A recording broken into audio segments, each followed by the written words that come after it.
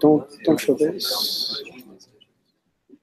Euh, feature engineering, là, ça c'est Ok. bon. On y va? Vas-y, vas-y, vas-y. You're on and Yeah, try to be in front of the Vas-y. camera. Okay, well, thank you uh, everybody for being here tonight. Um, I represent Algolia, so we're merely hosting the meetup tonight. These are our offices, and we're really uh, happy to have you here. So, just a quick words on Algolia, what it is we do. We are a hosted search API, so that means that we have a search engine behind an API. Um, and what we really do is we help our clients give great search experiences to their customers. So if you've heard, if you've seen Twitch, Periscope, or Medium, when you search in those search bars, um, that's our technology behind it. Um, what our clients buy are speed and relevancy. So uh, we have uh, response times that are under uh, 100 milliseconds.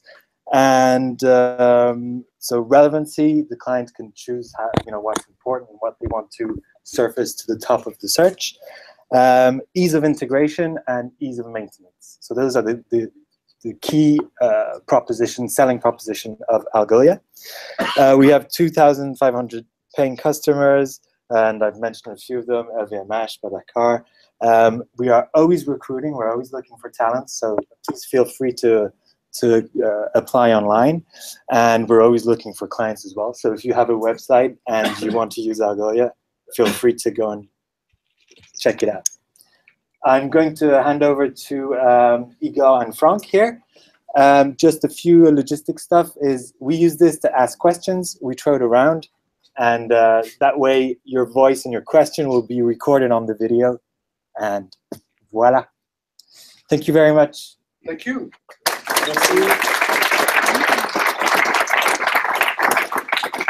Alors, Un grand merci à Algolia donc, euh, de nous accueillir ce soir.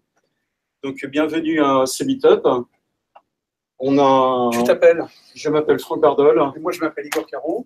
voilà, C'est le combien euh, régulier? 64e, Non, ouais. à C'est 7e de la saison. septième de la saison. Euh, on a encore beaucoup de hors-série qui sont en train de se passer.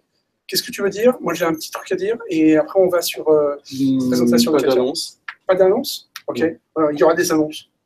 Il y aura des annonces. Me concernant, je veux dire. Voilà. Euh, ok, donc je reviens de Bercy. Fujitsu a décidé de créer un centre de recherche et développement ici en France sur l'IA. Voilà, donc c'était une news il y a 20 minutes. Maintenant, ce qu'on va faire, c'est on va euh, parler directement à Katia Hoffman, qui se trouve à Microsoft euh, Research at euh, Cambridge, le, vrai Cambridge, celui qui est en Angleterre, celui qui est de côté de voilà. Et on va essayer de faire en sorte que l'expérience sonore soit la meilleure possible pour tous les gens qui sont sur le streaming. Donc, on est sur le streaming. Merci d'avoir changé vos RSVP en nom si vous n'êtes pas venu. Si vous n'êtes pas venu. That's an interesting uh, microphone you have. Euh, et on va commencer relativement vite avec euh, Katia, puisque nous attend euh, depuis euh, quelques temps maintenant. Et puis après, on aura donc deux autres présentations, quatre, euh, trois autres présentations. Trois autres présentations, deux présentations sur le feature engineering et une autre, euh, bah, c'est Katia. D'accord, ok. Ok, on fait ça alors. Alors, on essaie de revenir sur la présentation, alors sur l'icône. Katia, Kenya, uh, Ka- Katia, can you uh, hear us? Yes, loud and clear. Okay, now the question is, uh, hold on, can you speak a little bit? We need to figure out exactly if the sound is going to be good for the people in the crowd. Bonsoir. It's uh, a great pleasure to virtually be with you uh, today. Um, thank you very much for the invitation. I'm sorry I cannot be there in person. Okay, that, that, that looks great. So what we're going to do is shut up so that I'm going to mute myself and you can begin your presentation from about uh, now. As soon as you see the mute on my side, please. Uh, Can you it's your see the slides? Yes, we can. Yes, we can. Fantastic. Mhm. All right, fantastic. Well, so thank you all very much for um, for inviting me and coming to the presentation. Um, what I will present today is Project Malmo. Project Malmo is a test bed for AI experimentation, and it's a tool for asking questions um, about how to develop the future of AI. I'm sure one of the reasons that you're here today is that you're aware of the incredible progress that has been made in machine learning and artificial intelligence over the past couple of years. We now have uh, machines that can recognize thousands of objects, that can recognize human language in uh, real time and translate it to other languages. So it's a really accelerating period of time. And the key question is how far can we actually push this? Um, and how much progress can we make in um, developing future AI technology?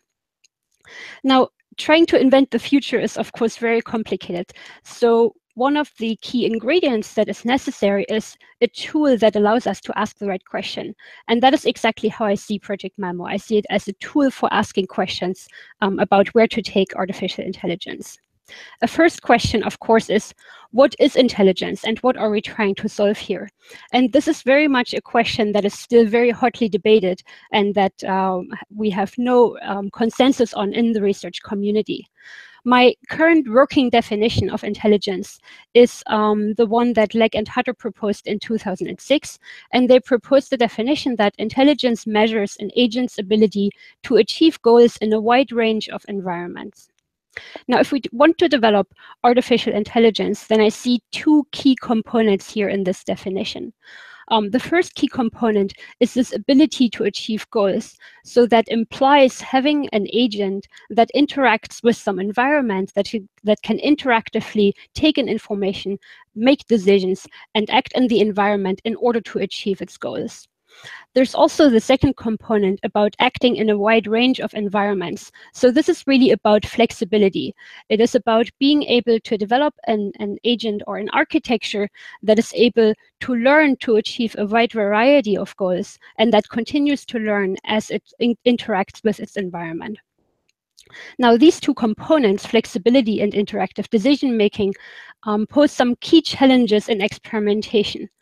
Um, so if we want to go beyond, for example, supervised machine learning towards agents that can actually interactively learn to interact with their environment, we need a new set of tools for measuring progress.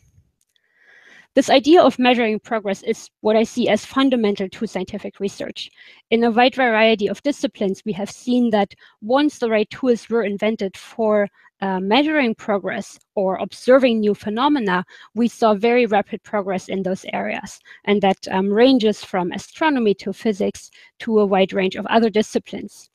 Now, in artificial intelligence, it's actually very hard to measure progress. As you saw, there is no agreed upon um, definition even of what we are trying to achieve. So it's even harder to come up with an idea of what to measure. As a approach to tackling this very, very, very hard conundrum, um, we are proposing to um, use a platform that allows us to very rapidly ask questions, um, test hypotheses, and in, the, in such a way um, that it allows us to start measuring progress in this area.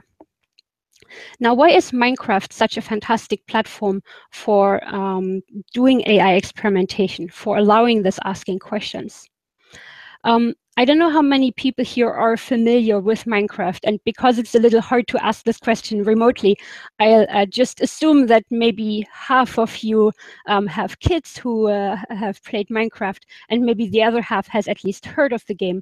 But just for those who haven't been able to play Minecraft before, it's an open-ended game where players explore, create, socialize. It's what's called a sandbox game that players enter um, there's no predefined goal, so people can go in and um, play this game in whatever way they want. For example, one thing I like to do in there is just go um, travel to some mountainous region and watch a sunset. And I really like building tree houses in Minecraft. So you can really come up with anything um, that you want to do.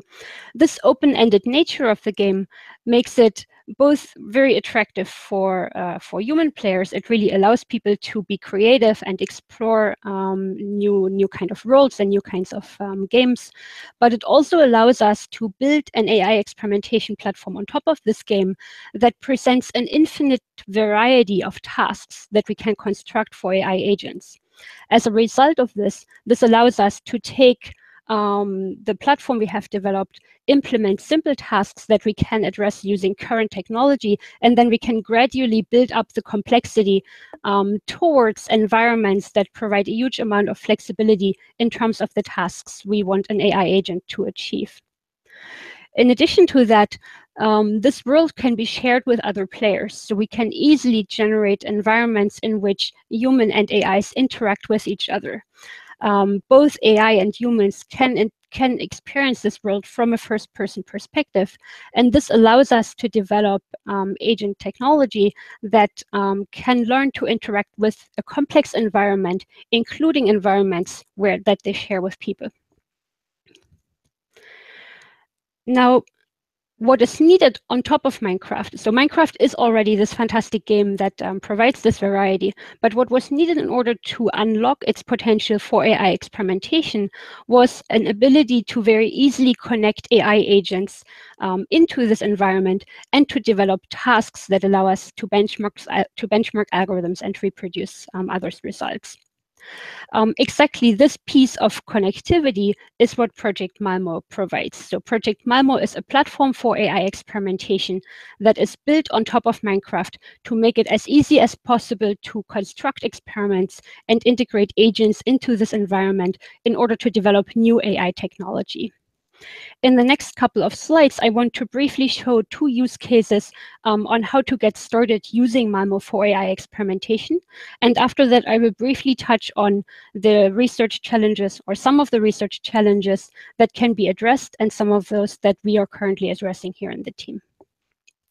So let's look at um, two at the key use cases and design principles um, that guided us when developing Project Malmo.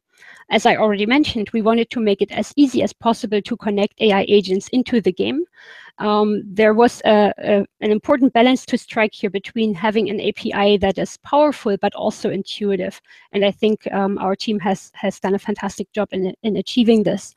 We also needed to provide researchers with the tools for creating tasks, building on existing Minecraft capabilities. Um, and finally, the platform is um, built for extensions and novel users. Um, I, as I already mentioned, the platform is um, available as open source online, so people can go and change it or extend it um, and adjust it to the needs they have for their particular experiments that they want to run. We made huge effort to make the platform as easily accessible as possible. So we are providing a platform that is cross language. Um, you can implement agents in Java, um, .NET languages, C, C++, Python, etc. And it's also completely cross-platform. So it runs on Windows, Linux, and uh, Mac OS. Very briefly, um, Malmo um, consists of the following components. Um, when you start up uh, Malmo, um, you start up the actual Minecraft game. Inside the Minecraft game, there is a client-server architecture, and each agent would connect um, to one of the Minecraft clients. This is done via a mod that hooks into Minecraft. And the mod is really key to exposing the state of the Minecraft world to the agent and getting back um, the uh, commands to send to the Minecraft world. So on top of this mod sits the API that the user code actually interacts with. And this API um, would be called to get observations about the environment, etc.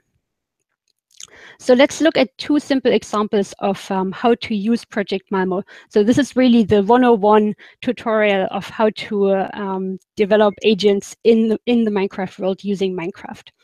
Um, the fundamental idea is that we want to have an agent that interacts um, with the environment, and we can think of this interaction as an interactive loop. If you're familiar with reinforcement learning, this must look very, very familiar to you.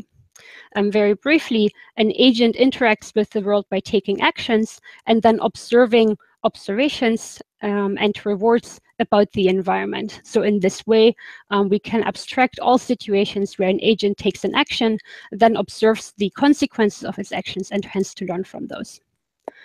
Now let me show you what this looks like in um, Python. So here we have a, very short um, setup where a very simple agent would um, enter a basic Minecraft world.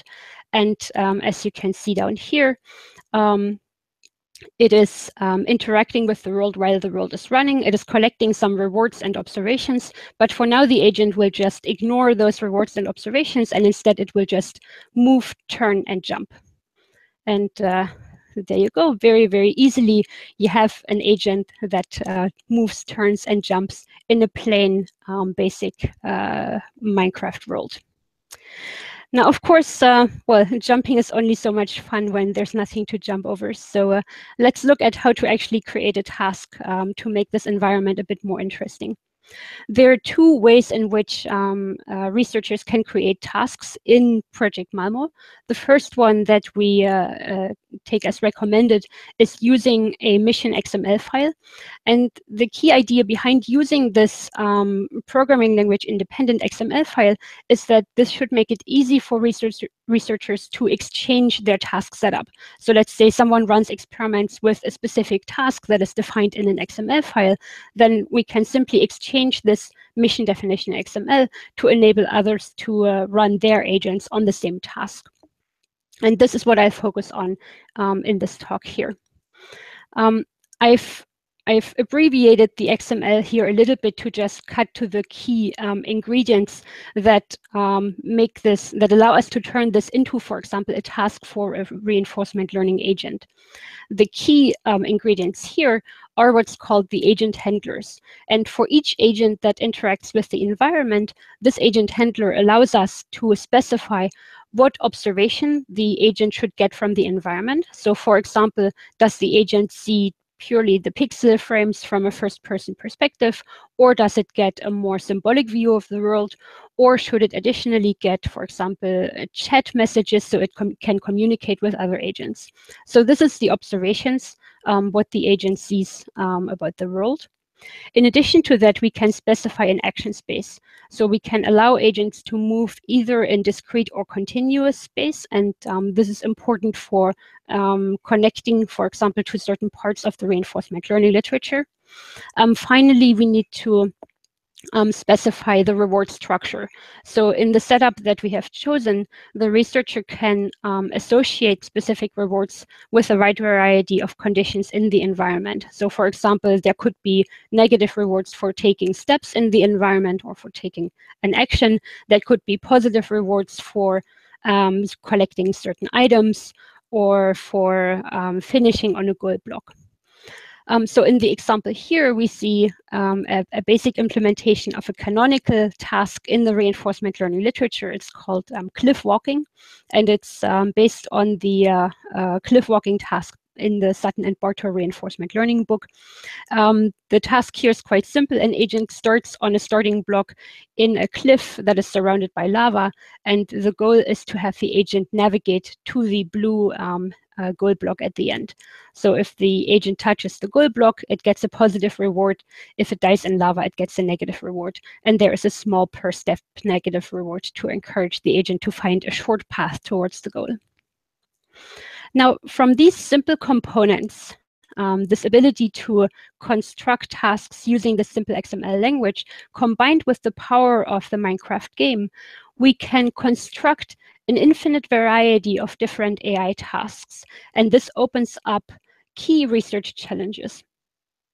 In the next couple of slides, I will give a very, very brief overview um, of uh, some of the starting points for doing, for example, reinforcement learning um, research using Project Malmo, and then I will provide some pointers to some of the work that we're currently doing. Right, so you, you have just seen this um, very simple cliff walking task, and I was mentioning that this is one of the canonical tasks in reinforcement learning. There's also a very um, effective solution to this particular task, um, and it's called tabular Q-learning. Um, and this example is um, provided with the Malmo platform. So if you uh, check out the Malmo platform, you can actually go in and try to run this and um, have an agent that learns to navigate to the uh, to the goal block um, very quickly. The idea here is that the observations that the agent re um, receives are a tabular representation of the environment. So in the view on the right, in the Q, um, you can see an illustration of what's called the Q table, um, a representation of the states that an agent has explored so far, and its estimated value of taking an action in a particular state. So you can see for the starting state, um, when the agent has just started to explore its environment, um, it may know only a single state. And so far, it maybe has learned um, that walking forward from the start block um, is a bad idea. It gives negative reward. Um, and walking off to the sides, maybe it doesn't have, um, it, it hasn't collected much information yet. So the key challenges in reinforcement learning are that the agent needs to um, not only learn about um, how to, you know, what actions are useful in its environment, it also needs to explore. So only when it reaches a block next to the goal block can it actually explore which action is a promising action in that particular state. Um, so a key challenge is balancing this exploration of um, learning something new with exploitation of what the agent has already learned. Um, we can see here um, in, in, in the example that we have implemented here, we are using tabular Q-learning with epsilon greedy exploration, which means that some small portion of the time the agent would take an action at random, and the remainder of the time it takes the action that it judges as the most uh, beneficial so far.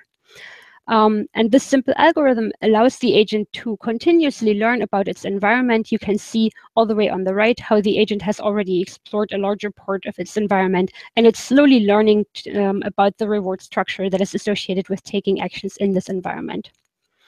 And now if we run this algorithm for about 10 minutes, we um, um, successfully train an agent that navigates this environment all the way to the goal, as you can see over here.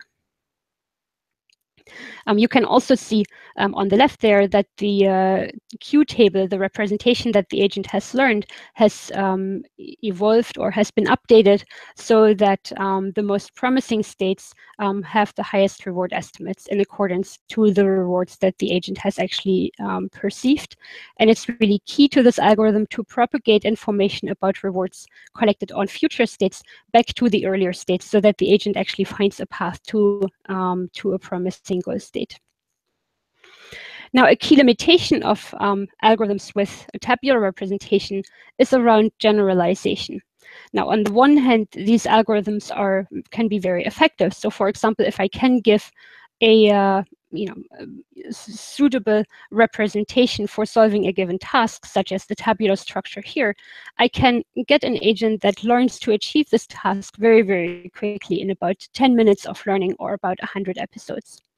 However, as those tasks become bigger and maybe there are certain regularities that could be exploited for learning, the agent wouldn't be able to generalize over that. It would have to explore from scratch in every new state that it encounters this ability to generalize was what's key to the success of deep reinforcement learning that has been so impressively demonstrated over the past uh, two or three years. For example, um, in, in uh, solving Atari games or learning to play Atari games at human ability. And we can um, apply similar algorithms here in um, here in Project Malmo. So here I'm showing an example of applying deep reinforcement learning to this task of navigating this room with some lava to uh, successfully navigate to the beacon shown in the top right, uh, top left corner um, of the screen. What I'm showing here is a screenshot where um, an agent has already learned to navigate this environment, and you can see a representation of the Q values where it can judge that um, taking a forward action, uh, taking a forward move um, when it's facing lava is a bad idea. So to just give a brief demo of this, here's an agent that has learned to actually look around itself to collect the right visual information that allows it to navigate to the goal. And with generalization um, using deep neural networks, we can ensure that an agent can successfully find its way even when the configuration of lava is changing, something that wouldn't have been possible using, for example, tabular approaches.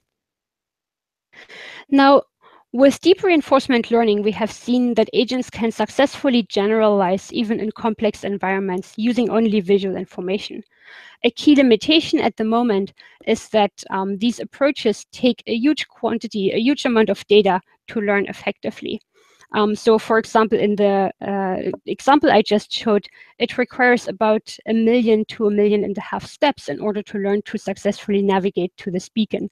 Um, if we were to look at a single individual task, something like tabular Q-learning could learn this much, much faster. So a key open challenge is um, to understand how we can develop more data efficient approaches to deep reinforcement learning so that we combine the power of learning to generalize with this ability to learn quickly in a relatively new environment. Some preliminary work that we have done in this space was looking at um, so-called multitask reinforcement learning.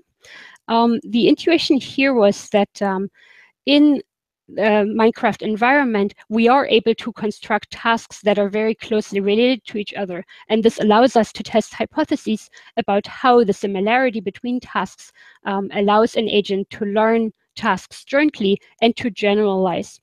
What we found here was that with multitask reinforcement learning on related tasks, the agent is actually able to learn as fast or even faster than learning single tasks from the same amount of data. More interestingly, we found that the agents learn shared representation in this multitask setting. So in this figure here, I'm showing um, data that was collected using two tasks that have been learned with the multitask RL setup. In one task, the agent had available um, actions where it could turn and move forward. And in the other setup, um, it could walk um, north, south, east, west without turning. The different tasks here are highlighted in red and blue, and we can see that um, the clusters that emerge from um, projecting this representation in a 2D space um, are tightly intermingled. And actually analyzing this representation, we see that there's one distinct cluster that emerges when the agent faces da danger, so when it's looking at lava. Um, so we have a first um, um, first suggestion that um, with multitask reinforcement learning, the agent can actually learn um, semantically meaningful representations for given tasks. Now, this was only a brief starting point, and what I'm really excited about with Project MAMO is that it gives rise to a variety of research directions. It is really a sandbox that allows us to ask new questions um, about AI, and it allows us to push forwards the state and the state of the art.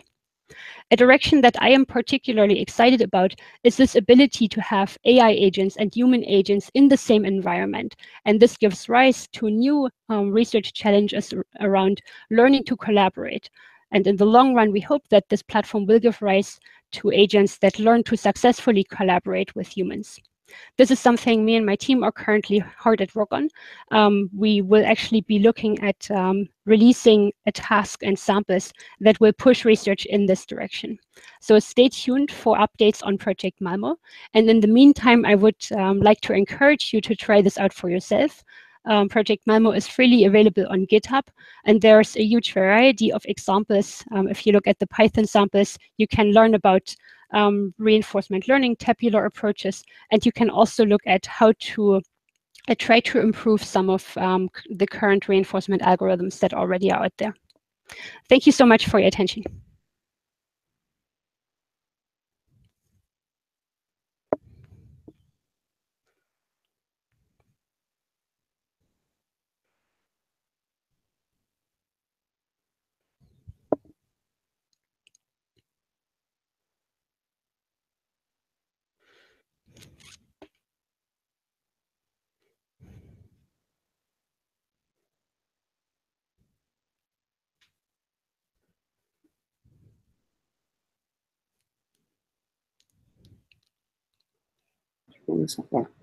Okay. now I can hear you. Yeah, I'm sorry. So we're going to have to ask the crowd to essentially applaud a second time.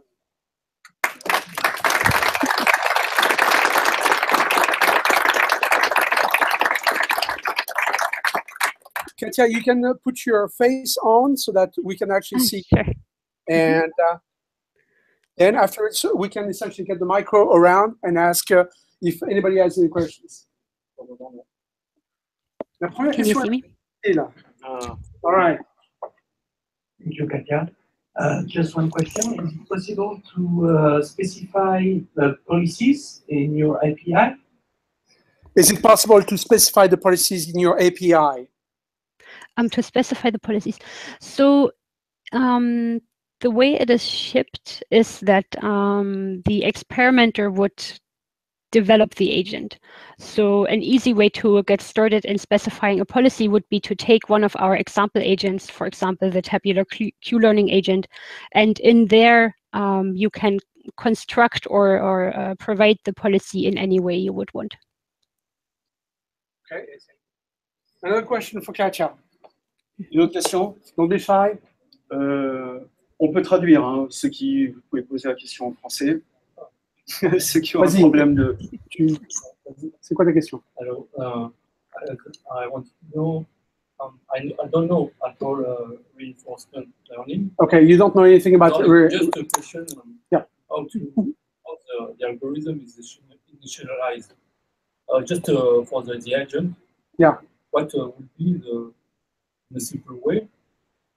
There's a so what what would be the, the action? That, what would be uh, how how the agent would be initialized in, uh, at, the, at the first uh, at the beginning of the, the algorithm? The code starts. The code starts. Hmm. Ah, how, how it's initialized, right? So in, mhm. so in the tabular Q-learning, um, the agent is assumed to learn from tabula rasa, so to not know anything about the environment. Um, different uh, initializations of the Q table that I showed would give different um, would give rise to different learning speed. Uh, typically, we just initialize all the values to zero, and then the agent has to start to learn um, and update those values according to its experience. But learning could be sped up if, if we have prior information, we could put that information into the initialization and that could help um, speed up learning. Okay. Il n'y a pas Parker qui veut récupérer le micro Non All right, Katja, uh, I got a, a question for you. Um, DeepMind, uh, yeah, DeepMind and OpenAI came up with different uh, words and essentially, uh, essentially video games, a bit like Minecraft. Um, what is the main difference between their approaches and what you're proposing here on uh, Project Malmo? Mhm. That's a fantastic question. I'm actually really excited to see um, the new experimentation platforms for AI that are coming out, um, both from DeepMind, OpenAI, um, and other um, and, and other groups as well. Each of those environments um, has a different view of AI and where it should be going. And this is reflected in the kinds of tasks that people are selecting. Um, so for example, a lot of the uh, um, DeepMind tasks are very focused on physically accurate um, interaction with the world. So it's really about learning, learning physics, for example, and learning to interact with the physical environment. Something that I'm particularly excited about is, as I mentioned, this ability to learn to collaborate with other agents, including humans. And this is what um, we focus on here. So we take a middle ground between um, something that would be physically accurate um, and something that is uh, very high um, in the complexity in terms of interactions between agents. Okay. And uh, any word on uh, the other uh, environment? You were mentioning uh, essentially that DeepMind had one. Uh, what, what do you think is the focus for OpenAI, or at least what do you understand from what OpenAI is? So, from as far as I'm aware, the um, motivation between um, the release of Universe is really this push to flexibility. So, having an agent that can perform tasks in the greatest possible variety of environments. Um, this flexibility is something that we have discussed, of course, as well. Um, one thing that is particular to the Malmo environment is that in Malmo, we have a single coherent world with coherent physics, and all the different tasks that can be implemented there um, underlie um, similar physics and similar regularities in this environment. This allows us to do experiments that um, would allow agents to build up common sense knowledge and then apply that common sense knowledge um, to new tasks that come up in this environment um, according to the same um, coherent structure.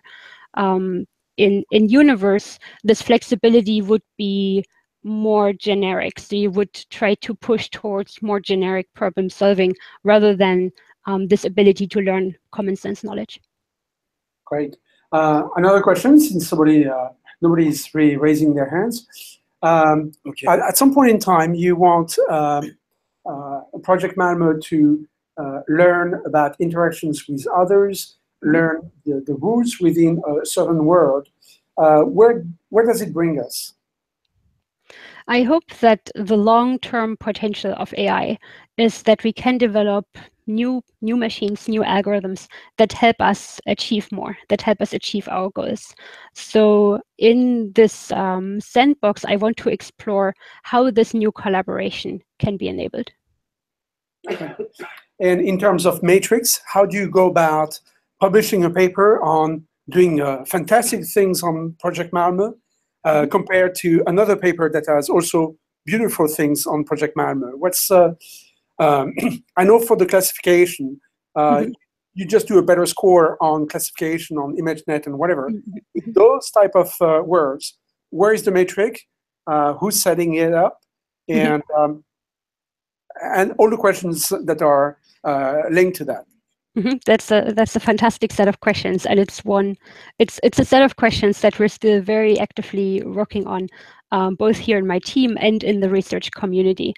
Um, as you mentioned, for um, more general AI, there's no agreed upon metric, as similar to the fact that we don't have an agreed upon definition of what AI is. Um, so what I hope to enable with Project Malmo is that people can propose tasks that they consider challenging or interesting, or that push agents, for example, towards this um, flexibility of learning. Um, then people can propose those different sets of tasks and we can evaluate them as a research community. Um, we can see whether pushing in this direction is actually the right direction. I think this will very much be an iterative process with tasks being proposed, revised, and um, step by step, we can make our way towards greater understanding of the fundamental challenges and how to solve them rather than single-mindedly optimizing for a single metric, um, even if it's not necessarily the one that we actually want to make progress on. Okay. Um, any other question? One last one? Yes. Last. Uh, hello, Katja. Hi. Like, uh, you are mainly saying that people are going to propose new tasks. Is uh, Microsoft going to move in the direction of giving a set of tasks? Uh, last, not a long time ago, Facebook just uh, released a set of hierarchical, uh, so how in which words to say, yeah, hierarchic, hierarchical uh, set of tasks for transfer learning and an environment, a very small environment with. I think, as you said, Minecraft would be very, very awesome for transfer learning Mhm. uh, on different set of tasks. And uh, so, is Microsoft going to pushing also in this direction, or are you going to wait for the community to move on on tasks and complexity? Um, so just let, let me repeat the question to make sure I understand correctly. Um, so you're asking about um, um, uh, transfer learning and whether Microsoft is working on releasing tasks for specifically transfer learning. Is that right? Yes. Right, right. So at the moment, um, my team is focusing on on collaboration. So I think the first um, task that will come out will be in this space.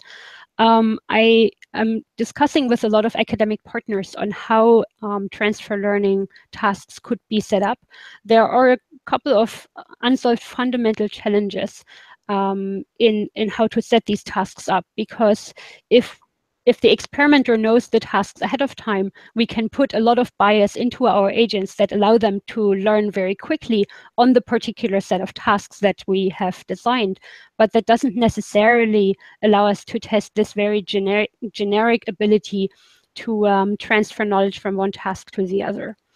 Um, I don't have a very good solution to those uh, challenges yet. If you have any suggestions, I'd be very curious to hear from you. Um, other than that, we'll continue those collaborations and hopefully we'll be able to come up with a good set of tasks in the future. Thank you. Well, thank you, Katya. Well, let's applaud Katya a second time. Thank you so much.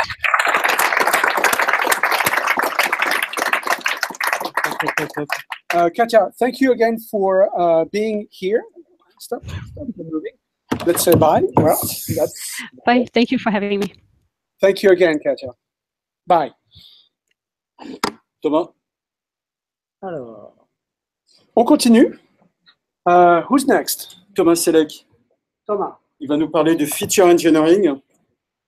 Et c'est un expert Kaggle. Enjoy. Il y a, euh, il y a au moins une place pour. Voilà. Bon, l'important, c'est que tu le tiennes. Et Juste puis, avant euh, que tu mettes le micro, il y a une deuxième annonce. Je viens d'avoir sur euh, Twitter. Euh, Open Classroom vient de créer une, euh, un MOOC de machine learning en français.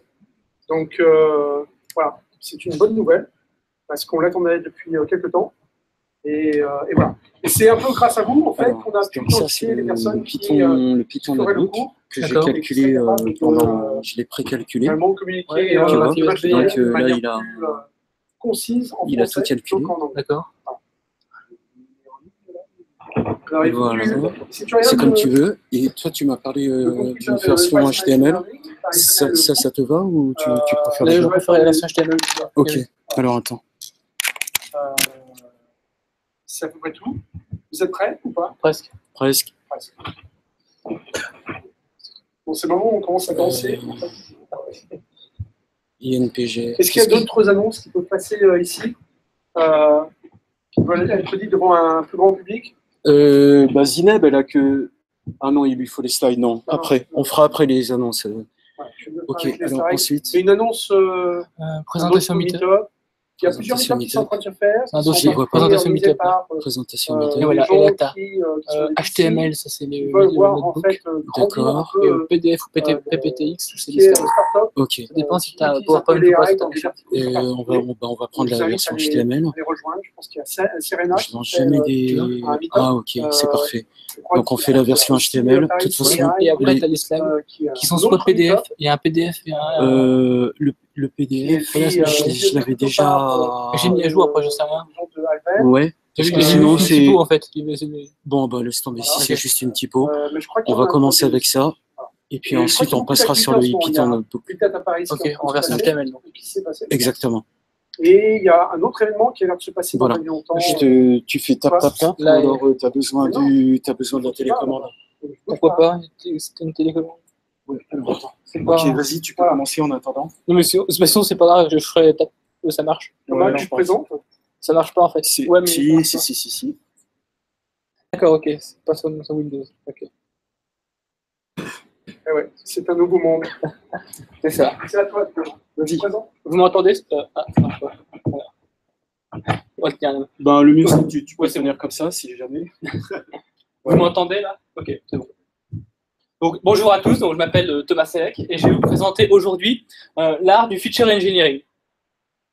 Donc d'abord, je vais me présenter euh, un peu plus en détail.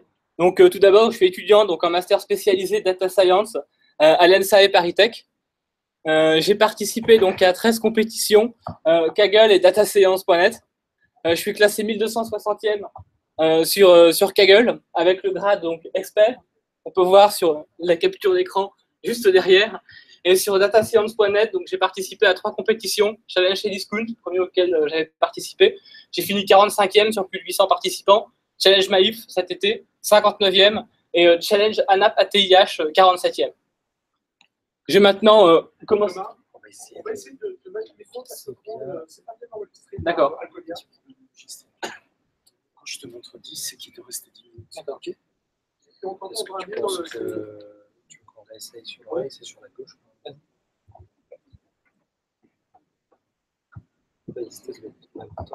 D'accord. Là, c'est mieux d'un coup D'accord. D'accord. Ok. Donc, je vais maintenant euh, débuter ma présentation en expliquant qu'est-ce que le feature engineering, puis finalement, quel type de feature engineering on peut effectuer suivant les données que l'on a à notre disposition. Donc, euh, déjà des statistiques sur euh, les données en elles-mêmes, puis euh, sur les variables quantitatives, qualitatives, granulaires, donc des variables qualitatives avec beaucoup de modalités, et enfin, je ferai une, présentation sur le challenge Maïf, comment le feature engineering peut améliorer le score d'un modèle. Donc, premièrement, qu'est-ce que le feature engineering? C'est donc un art, puisque c'est la partie la plus créative de la data science, puisque finalement, il n'existe pas de méthode pré, euh, préconçue finalement pour faire du feature engineering. Chacun a ses petites astuces, chacun a ses, ses, ses, tri- ses tricks euh, pour finalement euh, améliorer son feature engineering euh, et améliorer les performances de son modèle. Euh, finalement, le feature engineering, c'est extraire des. On va essayer. Tu tiens ça. D'accord. ça sera mieux comme ça. Euh, ça marche euh, Là pour l'instant ça marche pas. mais- Si, si, si, si. 1, 2, 1, 2, 1, 2. Vous entendez Ça marche. 1, 2, 1, 2. Ok, donc on va parler dans le cube. donc finalement, le feature c'est engineering, c'est également extraire des features à partir donc de données qui peuvent être variées. Ça peut être du texte, ça peut être des images, du son, euh, des données numériques, des dates. Euh, il y a beaucoup de choses, beaucoup de données euh, différentes. Et ensuite, générer de nouvelles features pour améliorer le pouvoir prédictif d'un modèle sans augmenter sa, complexité. C'est-à-dire garder le même niveau d'interprétabilité d'un modèle, savoir concrètement euh, qu'est-ce qui se passe à l'intérieur, quelles sont les, les features qui sont utilisées et comment. Donc, la première chose, ce sont les statistiques sur les échantillons. Typiquement, donc, on a un jeu de données, comme on peut voir en capture d'écran euh, en dessous. Euh, et donc, on a donc un certain nombre d'échantillons, un certain nombre de features. Et donc, on peut commencer par faire des statistiques sur les features. Par exemple, compter le nombre de valeurs manquantes par échantillon, euh, compter le nombre de zéros, compter le nombre de valeurs négatives ou euh, calculer des moyennes, des médianes. Euh, faire ça va augmenter le pouvoir prédictif de notre algorithme, puisque par exemple, si les valeurs manquantes ne sont pas forcément issues d'une erreur finalement du processus de collecte des données, elles, peuvent, simplement ne pas exister puisqu'on ne peut pas collecter ces données.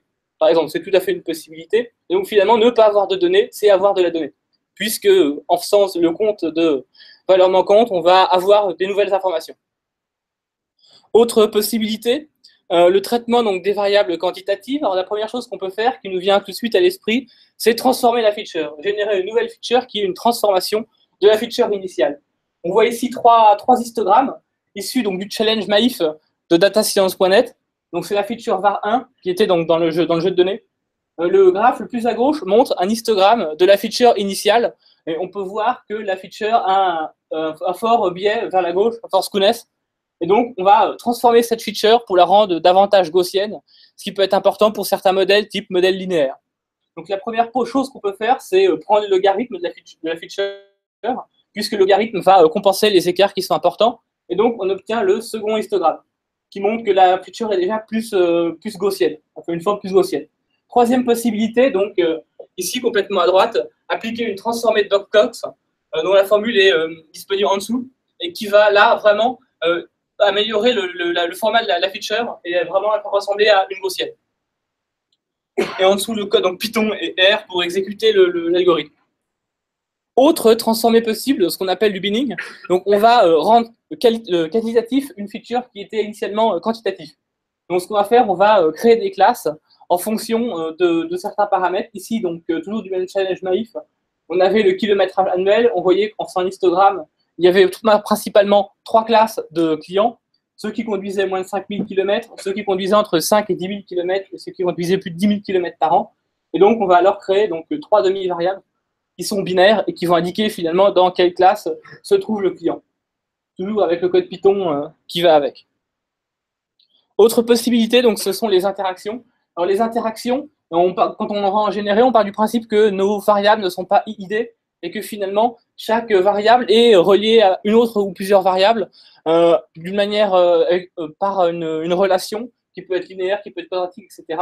Et donc, comment on fait pour détecter les features Comment on fait pour en créer De manière assez simple? On commence par extraire donc, les variables quantitatives. On fait un pair plot.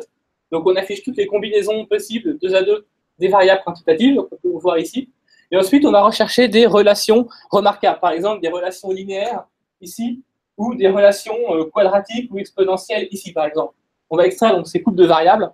Et ensuite, on va euh, utiliser une méthode entre guillemets heuristique qui va permettre de générer des combinaisons de ces variables et de voir finalement quelles sont celles qui sont intéressantes ou pas. Alors, intéressantes, quels critères de décision pour savoir si une combinaison est intéressante ou non Euh, Ce que l'on fait, donc on calcule la corrélation, enfin c'est la méthode que j'utilise, on calcule la corrélation entre la première variable et la target, qu'on cherche à prédire, la corrélation entre la seconde variable et la target, et la corrélation entre notre, notre interaction et la target. Et finalement, si la corrélation euh, de notre interaction est supérieure au maximum des deux corrélations précédentes, alors on peut en déduire que notre interaction sera intéressante et apportera une certaine valeur ajoutée au modèle, puisque finalement notre interaction euh, sera plus représentative euh, de, la target, sera plus proche de la target.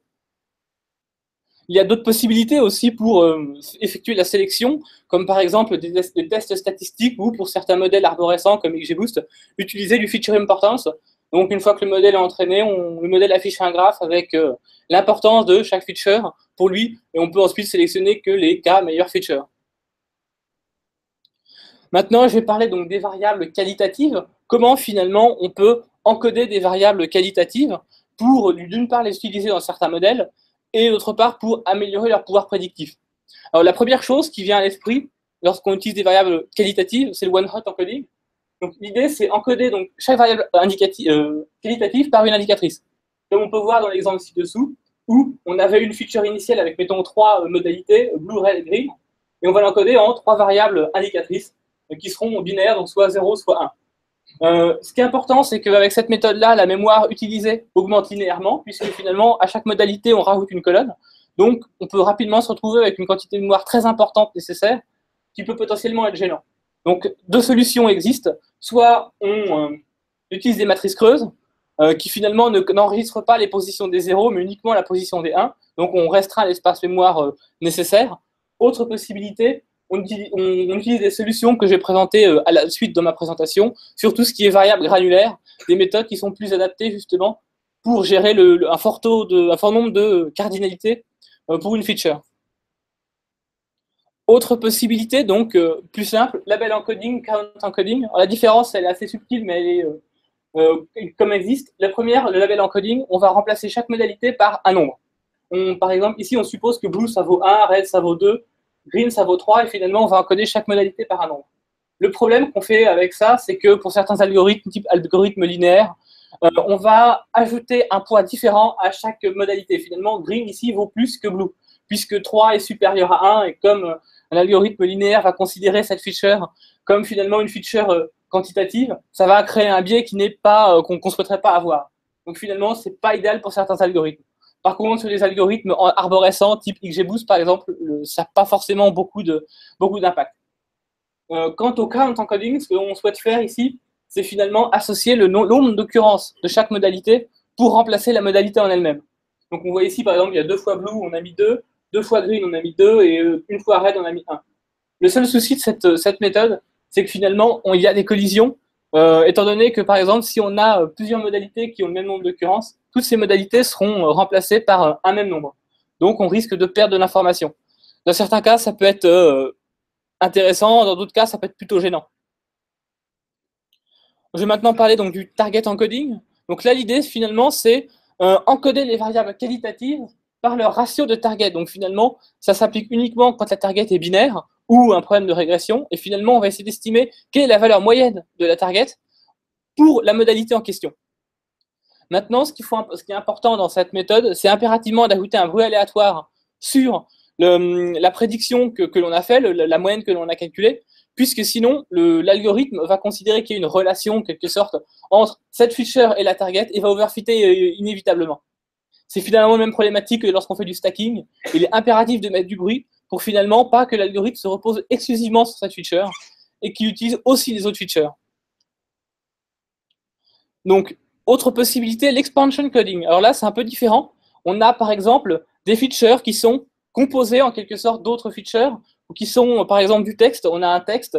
Ici, donc l'exemple qui était dans le challenge meilleur data scientist de France où on a une feature qui contient une liste de composés chimiques qui sont euh, composés dans des médicaments.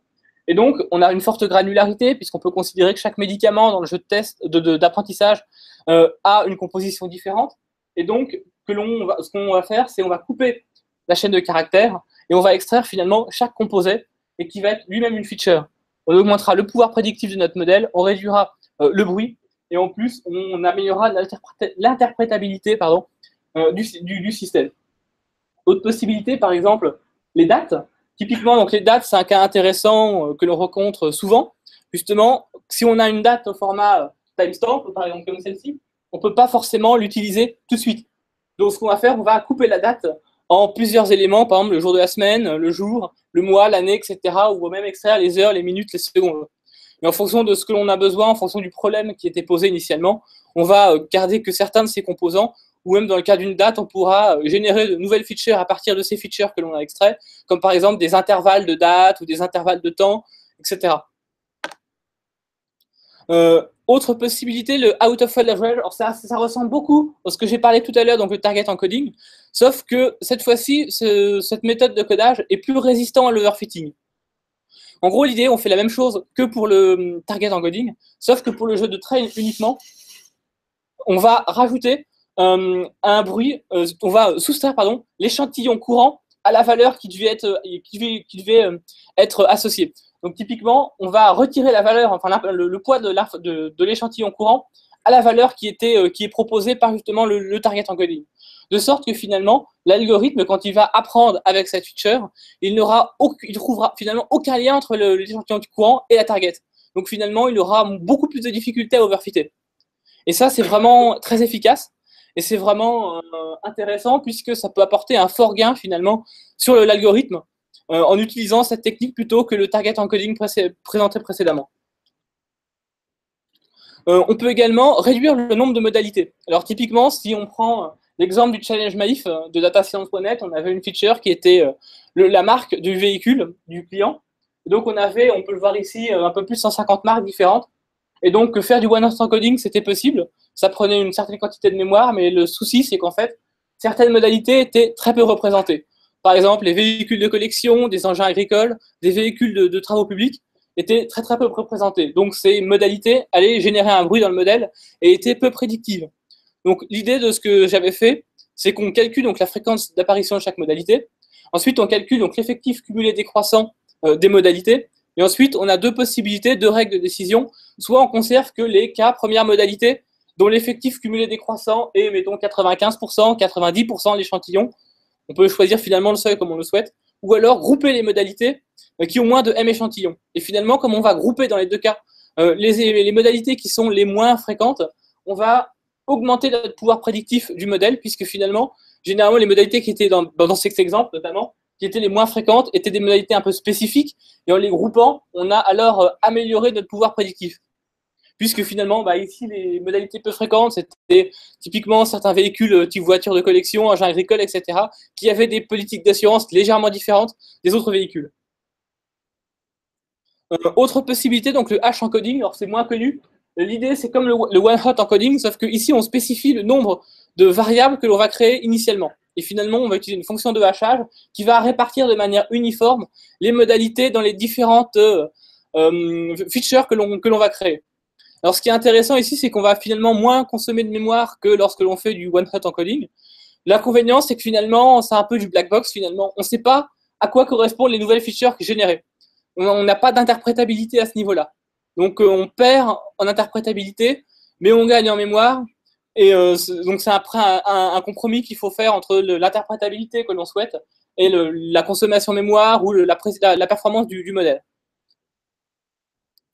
Enfin, donc, j'ai bientôt passé donc, à, la, démo euh, du challenge justement Shine Maïf, comment le feature engineering a amélioré les performances d'un algorithme qui était euh, XGBoost, donc sans changer l'algorithme en lui-même, comment simplement en changeant les features, on peut améliorer les performances. Alors ici, c'est le, le, tableau que j'avais fait euh, lorsque j'avais participé à la compétition.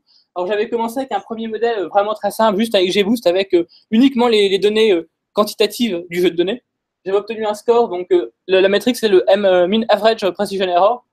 J'avais obtenu un score de 12,29 et à la fin du challenge, lorsque j'avais euh, justement fait du feature engineering, j'obtenais 11,10. Donc on voit que le gain n'est pas négligeable euh, pour un même algorithme. Donc je vais maintenant passer à la démo et présenter finalement comment, de manière pratique, on peut générer de nouvelles features et améliorer les performances de son modèle. HTML. Il est ouvert, quoi, C'est ça. Bon écran. Je vois rien du tout, c'est tellement petit. Ouais. Attends. Bah alors, ça n'a pas marché Il y avait View Enter Full Screen, je sais pas bah, si c'est ça. Ouais, c'est ce que j'ai. Ok. C'est bon C'est bon. Ok. Donc voici donc un notebook Python euh, que vous pourrez récupérer après qui sera mis sur Internet. Donc comment, de manière euh, pas à pas, euh, traiter les données du challenge euh, Data Science Maïf et euh, améliorer les performances de son modèle simplement en rajoutant de nouvelles features. Donc la première chose que je fais donc, dans, ce, dans premier cadre, c'est donc euh, paramétrer mon notebook Python, où finalement je vais simplement importer les librairies qui me seront nécessaires pour traiter mes données. Alors ici que des librairies qui sont entre guillemets standards, donc Pandas, NumPy, Matplotlib pour les graphes et scikit-learn. J'utilise ensuite XGBoost pour le modèle prédictif. Donc ensuite, juste ici, euh, je charge les données. Donc, pour cette présentation, j'ai pris que le jeu d'apprentissage que j'ai ensuite coupé en un jeu apprentissage test pour pouvoir faire une simple validation et évaluer les performances du modèle. Euh, j'ai extrait donc la target que l'on souhaite prédire et donc j'ai créé le, jeu de validation en question. J'ai même créé trois jeux. Il y a un jeu d'apprentissage, un jeu de validation pour XGBoost. Typiquement, quand on utilise une watchlist, on a un jeu de training, un jeu d'évaluation. Et ça permet de voir à chaque itération de XGBoost quelles sont les, les performances euh, sur un jeu entre guillemets de test. Et enfin, le dernier jeu de test euh, qui permet de réellement évaluer les performances du modèle.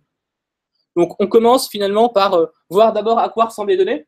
Donc, on voit les différentes features sur les, les cinq premières lignes du, du jeu de données. On voit qu'on a des features qui sont donc euh, quantitatives, d'autres qualitatives, la fameuse barre dont je parlais tout à l'heure. Euh, oui. Et donc, Bon, d'accord. D'accord, on voit rien du tout. Il y a quelqu'un qui m'a dit que tu as employé souvent le mot overfitting, mais euh, il faut, si tu peux dire juste quand le- la prochaine fois que tu D'accord. utiliser overfitting, juste pour euh, définir Explique ce- d'accord. une phrase. Très bien. Donc voilà, on voit donc justement le, type de données auxquelles on va avoir affaire, donc euh, un certain nombre de, de données, euh, des features qui sont euh, euh, quantitatives, qualitatives, et on, on va pouvoir faire beaucoup de choses en termes de, de feature engineering sur ce type de jeu de données. Euh, la, métrique d'évaluation qui permet de, déterminer les performances de notre modèle, donc c'est celle qui était présente euh, au challenge, euh, lors du challenge officiel, donc c'est la mean average, mean absolute percentage error, pardon, qui est définie comme, comme si, donc finalement on fait la différence entre ce qu'on a prédit et la réalité, qu'on divise par la réalité, on fait les sommes, et après on divise, on fait une moyenne finalement, c'est moyenné. Donc mon modèle, ça va, ça va rester donc le même modèle tout au long du notebook. C'est un modèle, donc un simple XGBoost, euh, avec les paramètres qui sont définis ici. Je ne vais pas rentrer dans les détails, puisque finalement, ce n'est pas l'objet de, de ma présentation. Euh, juste ici, pour ceux qui connaîtraient XGBoost, ça, c'est un paramètre supplémentaire qui est assez récent. En fait, la dernière version du XGBoost, qui est entre guillemets expérimentale, permet d'entraîner XGBoost sur un GPU, ce qui est nettement plus rapide par rapport au CPU. Et donc, finalement, si on ajoute ce paramètre, on peut utiliser le GPU et entraîner plus vite. Et ensuite, donc ça, c'est tout ce qui est modèle XGBoost. Et maintenant, je vais commencer par, euh, lancer donc, euh, un baseline, donc un premier modèle euh, assez basique, aucun feature engineering, et voir finalement quel est le score de ce modèle, et finalement comment, comment ce modèle, se, pour pouvoir après comparer par rapport à nos autres modèles avec feature engineering. Les seules choses que j'ai fait ici, donc, j'ai extrait un certain nombre de features qu'on peut utiliser telles quelles, et j'ai simplement rajouté le nombre de valeurs manquantes par ligne, avant de les imputer par une valeur euh, fixe, moins 1. C'est tout ce que, ce que j'ai fait. Donc j'ai euh, lancé mon premier modèle XGBoost, et on voit que le, la, le valeur de test vaut euh, 10,56. Et XGBoost, quand on a euh, lancé les, le modèle, on voit que les valeurs entre le, le trail et l'évaluation sont assez proches. Donc justement, on voit que le modèle ici n'overfit pas, c'est intéressant. Justement, je vais revenir sur cette notion. Très, pour faire très simple, ce qu'on attend d'un modèle, c'est qu'il soit assez géné- général, qu'il puisse finalement, face à des données inconnues, euh, correctement prédire ces données. Si finalement il overfit, c'est-à-dire si finalement il devient trop spécifique, il sera capable de euh, reprédire les données qu'il a déjà vues, mais il sera incapable de faire une prédiction correcte sur des données nouvelles, puisque finalement il sera trop spécialisé sur les données sur lesquelles il a appris. Finalement, c'est ça la notion d'overfitting. euh, c'est finalement ne pas, être trop spécifique sur un jeu de données pour pouvoir ensuite prédire de manière efficace sur des données inconnues. Maintenant, donc, je vais commencer donc, la partie feature engineering. Alors, ce que j'ai fait en premier, j'ai pris toutes les variables qui sont euh, qualitatives et j'ai appliqué du one-hot coding. Euh, juste avant, j'ai j'ai réduit donc, la, cardinalité, de la variable marque, comme j'ai présenté euh, tout à l'heure dans, mes slides. Et ensuite, juste ici, on voit que j'ai appliqué le one-hot coding. Donc, sur notre modèle, on, re, on le modèle, et là, on voit qu'il y a déjà une différence significative de performance, puisque nous avions environ 10,6 tout à l'heure, et là, on a 9,65. Donc, on a déjà gagné un score qui est important. Or, sur le challenge, hein, une différence comme ça, ça permettait de gagner 50, 100 places, ce qui est euh, pas négligeable. Euh, ensuite, ce, seconde transformation, donc j'ai appliqué donc, le boxcox, comme j'ai montré pareil dans, le, dans les slides tout à l'heure, sur les features qui sont euh, quantitatives et qui avaient un certain, biais, euh, pour justement limiter ce biais. Et là, encore une fois, on voit une, amélioration du modèle puisqu'on a 9,651. La, la, différence est, faible, mais dans certains cas, ça peut être bah, dans, une compétition, par exemple, ça peut être non négligeable et ça peut permettre de gagner quelques dizaines de places. Euh, ensuite, j'ai donc généré de nouvelles features. Donc ici, j'ai généré de nouvelles features à partir des, données existantes. Alors, plusieurs types de, de, nouvelles features. Ce que, ce que j'ai fait, j'ai par exemple généré une variable âge, puisque l'on souhaitait euh, finalement, euh, on pouvait, à partir de l'année de naissance et en prenant l'année courante, déterminer finalement l'âge de chaque euh, utilisateur, de chaque client. On pouvait également se demander finalement euh, quel est l'âge du permis de la personne, puisque finalement, une personne qui a son permis depuis un certain temps conduira peut-être de manière plus prudente, donc finalement aura peut-être une prime d'assurance plus faible. Donc c'était aussi une, feature qui, avait un fort pouvoir prédictif. Et j'ai fait un peu de binning, comme j'ai présenté tout à l'heure. Donc par exemple, j'ai créé des groupes d'âge, par exemple, pour des personnes qui avaient entre moins de 25 ans, entre 25 et 35 ans, entre 35 et 50 ans et plus de 50 ans. Pareil pour la puissance fiscale des véhicules, les véhicules du, plus ou moins puissant, en fonction donc, du nombre de chevaux euh, que le véhicule possédait. Euh, idem pour l'âge du véhicule. En gros, séparer les véhicules assez récents des véhicules plus anciens. Et enfin, parce que ce que j'ai présenté dans, mes slides précédemment, le kilométrage annuel effectué par le véhicule. On réentraîne notre modèle et on s'aperçoit que notre score s'est encore amélioré. On est passé à 9,642 au lieu de 9,651. Donc, on a encore amélioré notre, notre modèle. On pourrait encore améliorer ici simplement en retenant l'algorithme, puisque finalement, avec un autre jeu de paramètres, l'algorithme serait peut-être encore plus performant. Peut-être qu'avec plus d'itérations, euh, une, valeur d'apprentissage plus faible, plus élevée, ou avec d'autres paramètres. en fait, c'est important à chaque, à chaque itération de ré, retuner le, le modèle. Là, je ne l'ai pas fait justement pour avoir une comparaison avec un modèle équivalent, voir quel est le réel impact du feature engineering. Et ici, donc, j'ai, euh, dernière étape, j'ai généré des interactions. En utilisant la méthode que j'ai présentée tout à l'heure. Et donc, j'ai généré 14 interactions euh, en prenant donc, des features. Donc, on voit par exemple une, feature multipliée par une autre. Ce qui fait que finalement, si une feature augmente et que l'autre aussi, on, verra euh, un, changement positif, etc. Euh, il y a par exemple des, logarithmes, il y, a un peu, tout.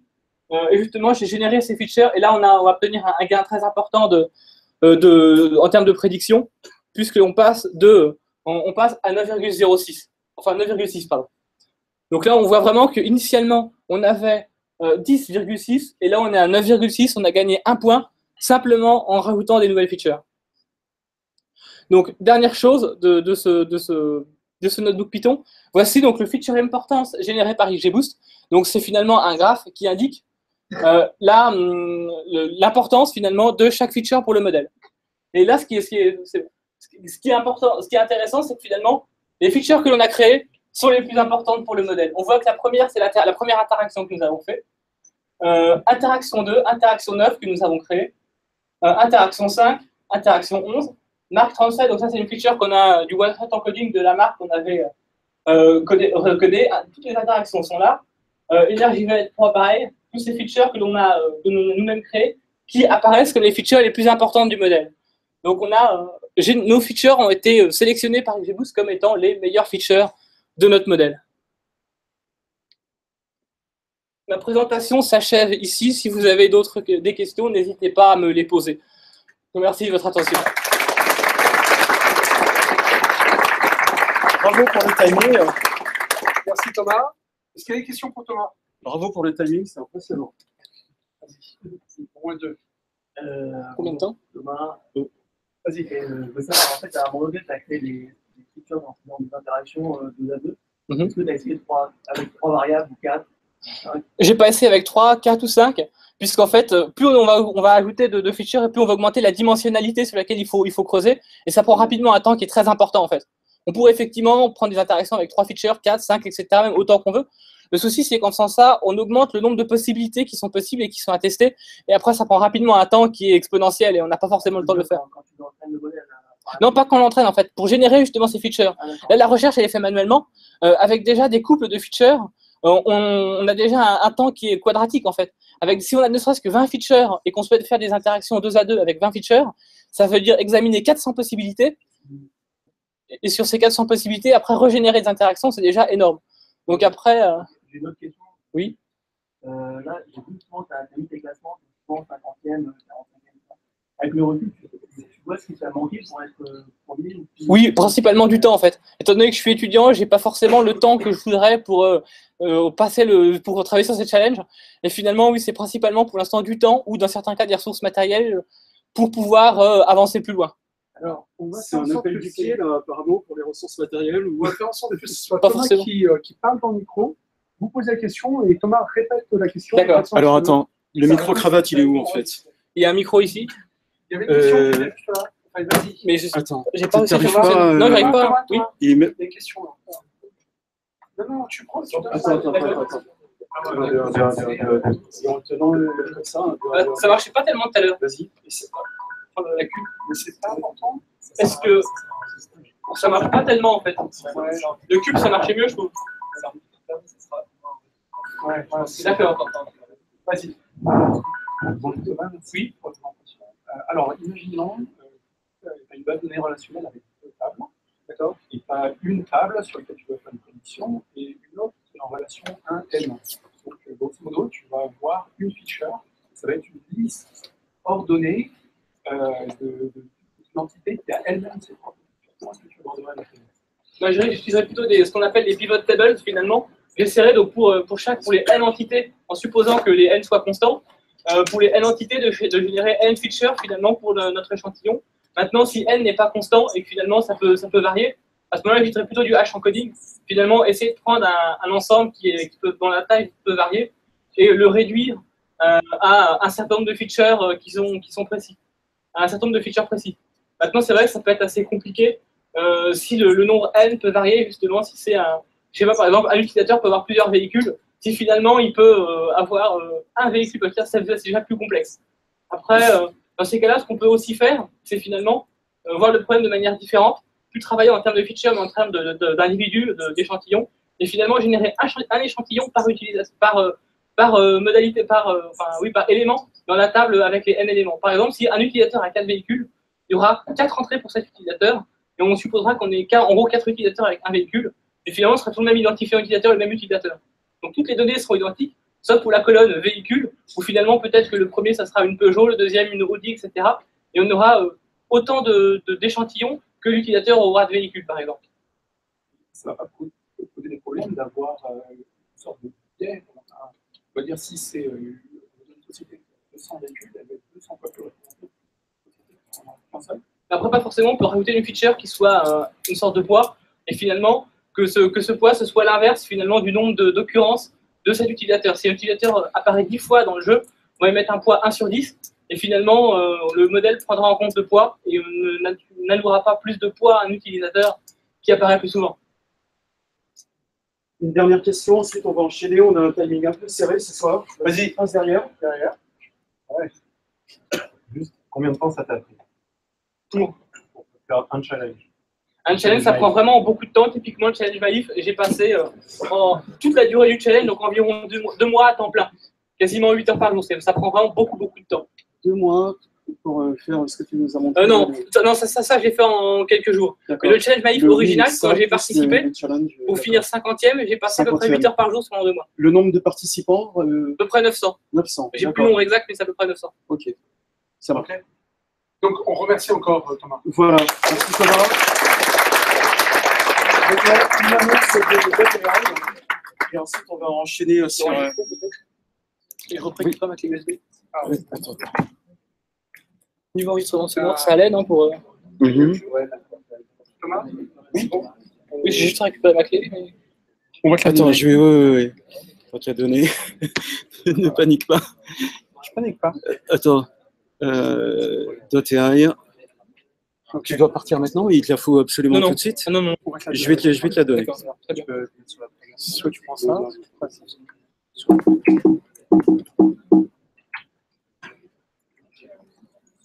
Ok, vas-y. deux minutes. Euh, bonjour, donc moi c'est. Ouais, c'est vrai. C'est mieux. Euh, donc moi je m'a- je m'appelle Vincent, euh, je suis un des organisateurs de DataI. Je ne sais pas s'il y a des personnes ici qui connaissent, qui ont Oui. déjà leur place. Ok. Parfait. J'étais Voilà. déjà venu présenter. enfin, Exactement. On était déjà venu il y a quelques mois pour l'annoncer, voilà, Oui. avant le lancement. Euh, donc là, c'est concret, ça sera dans un mois et demi à peu près. Euh, on parlera de machine learning et d'intelligence artificielle, bien sûr. Euh, et vu que vous êtes membre de ce meetup, euh, on vous fait partie- euh, bénéficier d'un discount de 20% euh, avec le code ML Paris. Ok. Et, et qui, Génial. qui va venir Enfin, C'est la slide- superstars qui vont venir C'est la slide juste d'après. Ah ouais. Voilà. Bien. On a déjà quelques speakers qui sont annoncés. Euh, vous connaissez sûrement Olivier Grisel euh, qui contribue à Scikit-Learn. On les connaît tous. Voilà. Euh, donc ça, c'est les speakers annoncés. Euh, dans une ou deux semaines à peu près, on annoncera le full line-up. Euh, voilà. Et en parlant de speakers, vous avez aussi la possibilité de venir vous-même sur scène grâce à nos Lightning Talks. Donc c'est des, talks de 4 minutes, c'est assez court. Voilà, vous pouvez venir pour partager un petit peu vos idées, vos projets, etc. Et vous pouvez soumettre un talk à l'adresse qui est juste en bas, donc dataI.io slash LT. Et dernière petite chose, euh, on organise aussi deux trainings euh, avec Louis Dora, euh, un débutant, un intermédiaire, donc il y en a un peu pour euh, tous les niveaux. Et le programme est à découvrir sur dataI.io slash training, si vous voulez en savoir plus. Voilà. Merci. Merci à vous. D'accord. Merci. On va enchaîner sur le talk de Feature Engineering. L'autre. De Predixis. Predixis. Euh, il marche plus ce truc euh, Si, si. ah. C'est pas grave, tu peux commencer avec ça. Tu, tu essaies de le mettre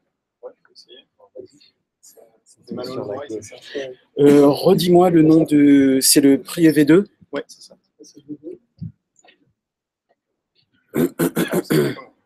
Vas-y, vas-y, vas-y, lance-toi.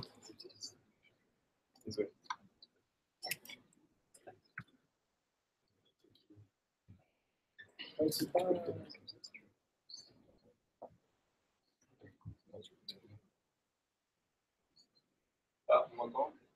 Vas-y, parle.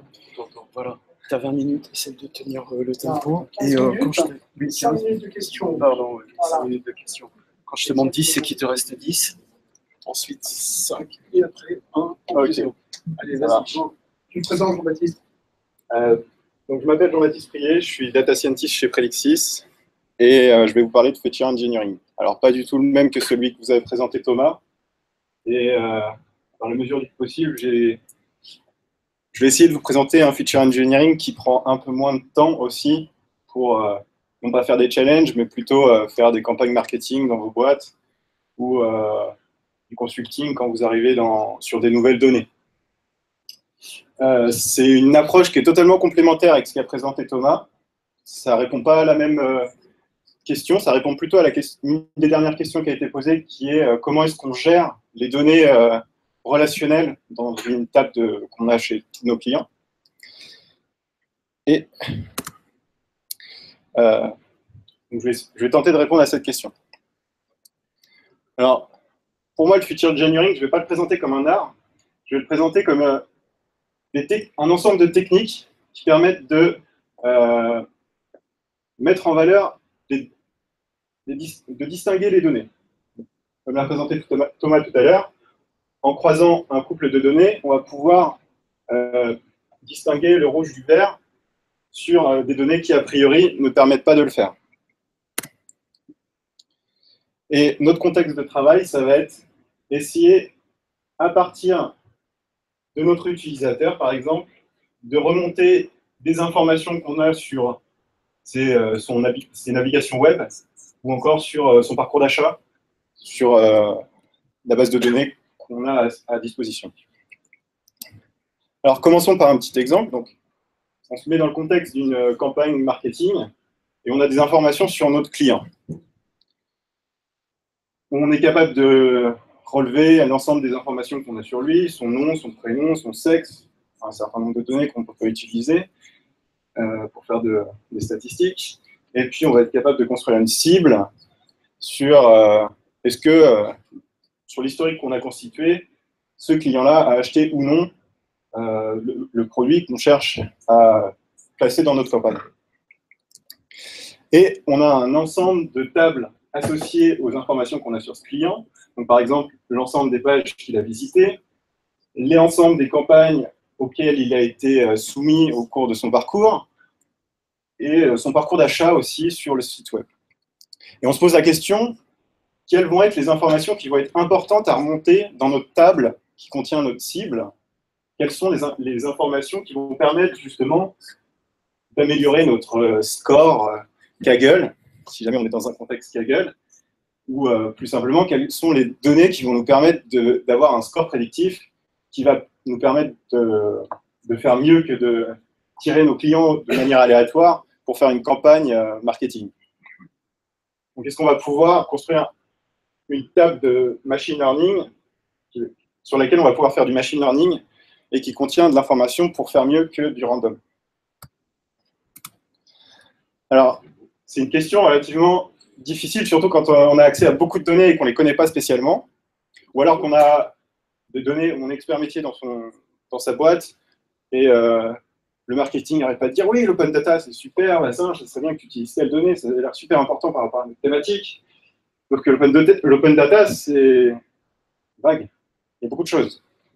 Et puis même une fois qu'on a sélectionné une base de données particulière dans cet univers, il faut encore la comprendre.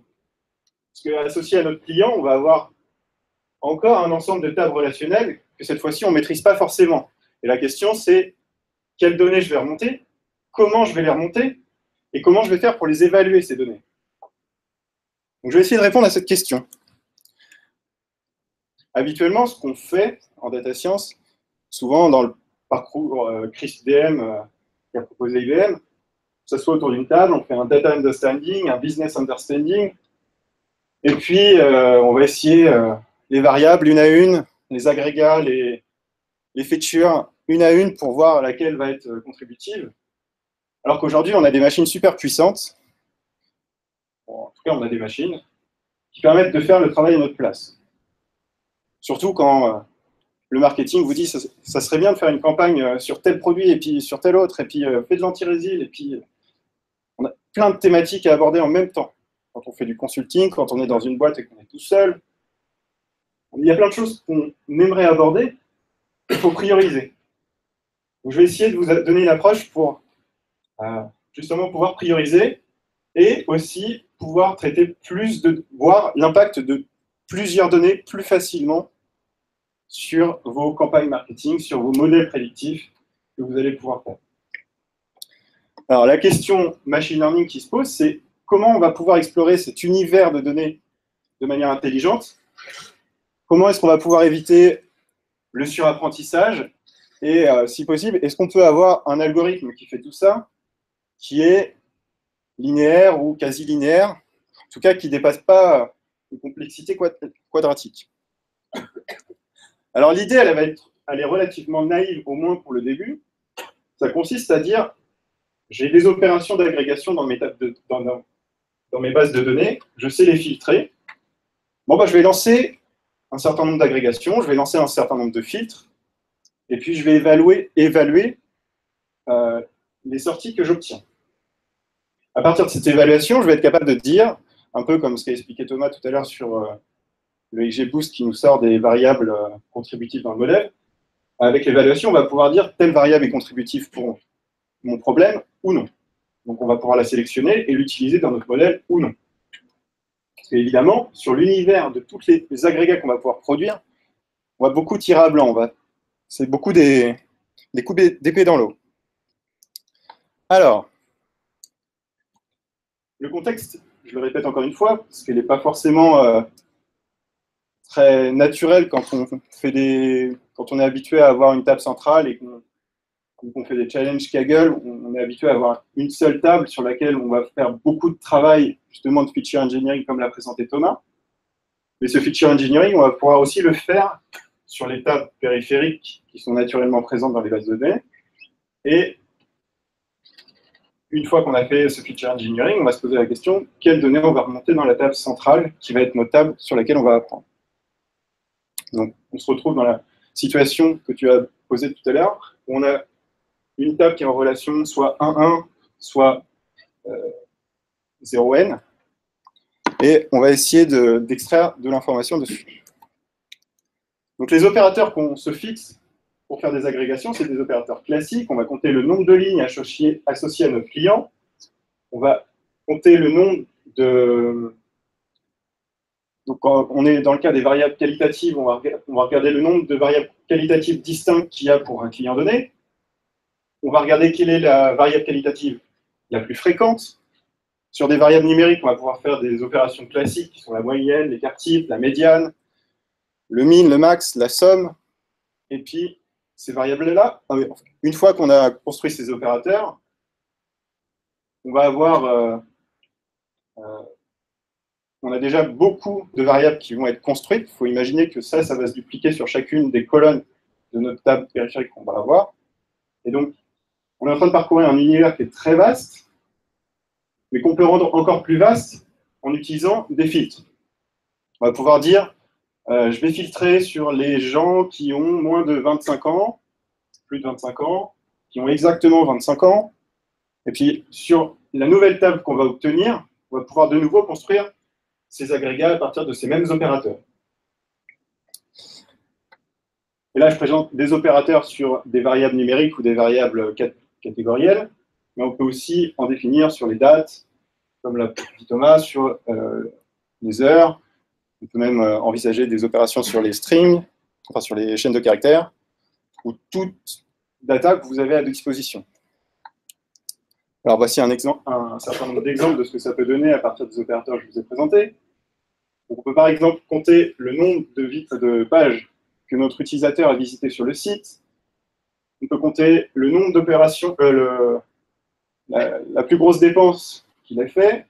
On peut compter euh, euh, quelle est la campagne marketing qu'il a le plus euh, lu. Ou encore faire justement un agrégat un petit peu plus compliqué sur une table filtrée, qui est le nombre de pages, la, durée des, visites sur le site pour, le, quand il a utilisé son téléphone. Alors, je vous ai promis qu'on allait essayer d'être intelligent sur comment on va parcourir ces données. Parce qu'évidemment, si on se retrouve à construire des agrégats sur euh, les femmes de moins de 25 25 ans, ayant 8 enfants, euh, ayant euh, regardé Highlander 2 ou je ne sais pas quoi, on va se retrouver vite fait avec des agrégats qui n'ont soit pas de sens, soit qui vont rapidement vous emmener sur de l'overfitting, euh, qui correspond exactement aux données d'apprentissage qu'on qu'on utilise. Alors l'idée, c'est commençons simple, et puis c'est surtout sur les données simples qu'il va y avoir de l'information, et puis au fur et à mesure, essayer de les compliquer en ajoutant des filtres. Donc au début, on va faire des filtres simples, tels que euh, les gens qui regardent euh, le site web sur un smartphone.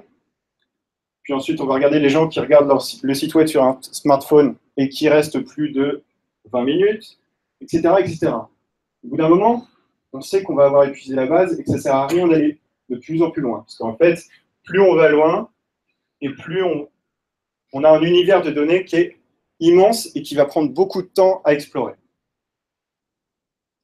Alors, euh, je vous invite à lire cet article de recherche qui euh, explique très bien pourquoi ce- cette idée de cercle concentrique, il faut commencer par tout petit et ne pas aller trop trop loin. Ça, évite justement le surapprentissage.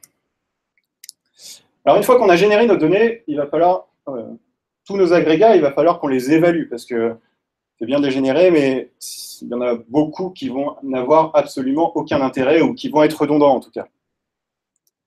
Alors, je vais proposer une approche qu'a pas présenté Thomas, qui est un peu proche de la binarisation qu'il a évoquée. L'idée, c'est de discrétiser et de grouper, mais pas de manière euh, euh,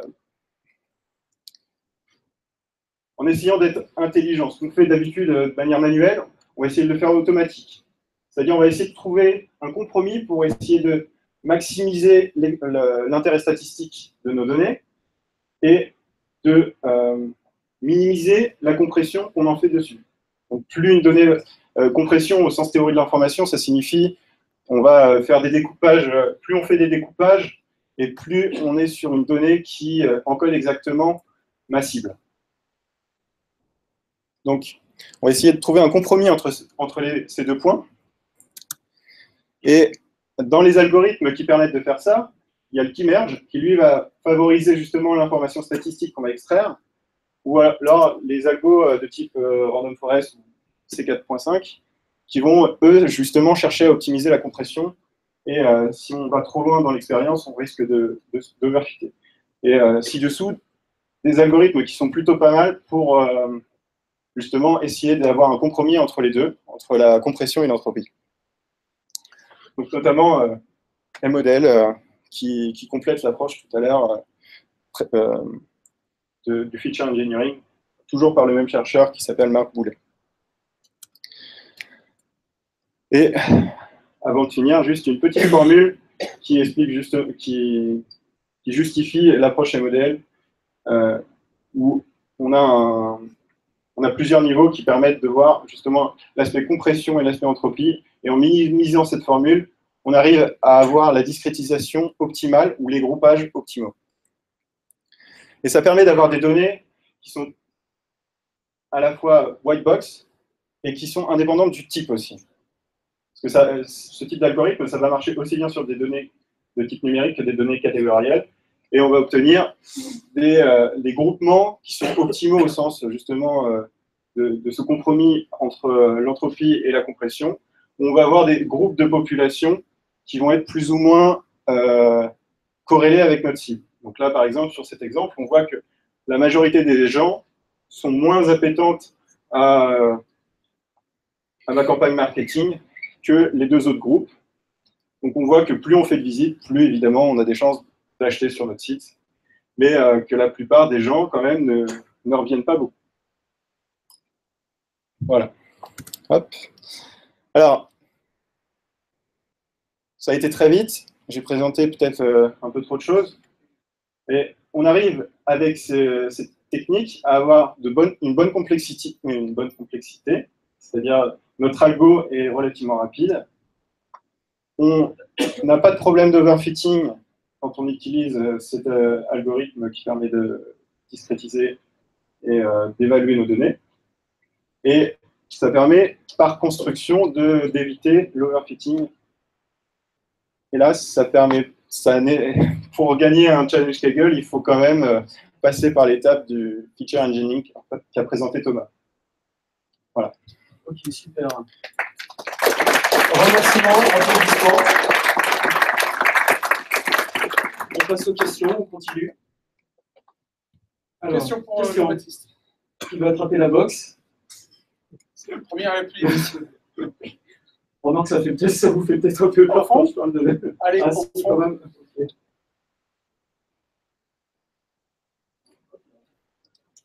Euh, bonsoir. Une petite question, j'aimerais juste savoir à quel point tu. Est-ce que tu fais intervenir les, les gens du business? Qui connaissent justement euh, les, euh, la cible d'un point de vue euh, pratique et euh, à quel point tu, en fait, tu les fais participer en fait, à, à ton, euh, à ton travail de, de connaissance de la donnée et à ton data rituel Alors, tu es obligé de passer par euh, l'expertise métier, parce que généralement, euh, les données sont faites par des ingénieurs qui n'ont pas spécialement une vision métier, donc tu te retrouves avec des données qui, sont très éloignées de ce que tu souhaites faire comme, euh, comme thématique machine learning.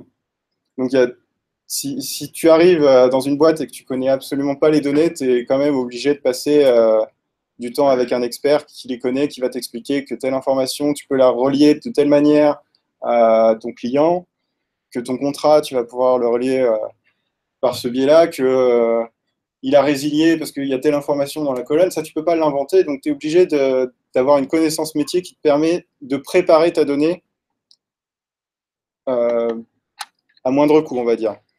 Par contre, là, ce que je te propose, c'est d'éviter l'aspect est-ce que cette information est, nécessaire, est importante à enlever le biais humain sur. Je me pose la question de comment je vais.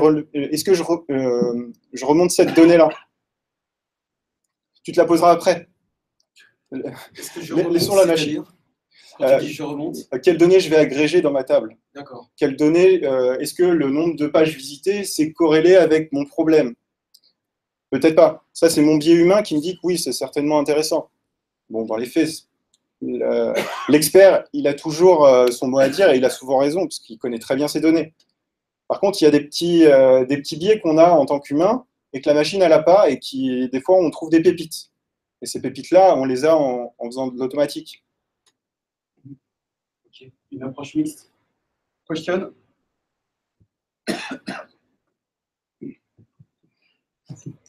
Est-ce que vous n'avez pas de problème de qualité de données pour commencer en général? Et Si, bien sûr. est-ce que ça. Donc, comme euh, visiblement vous, vous choisissez un peu euh, selon des considérations métiers les variables que vous croisez, euh, peut-être que vous évitez les problèmes de qualité de données.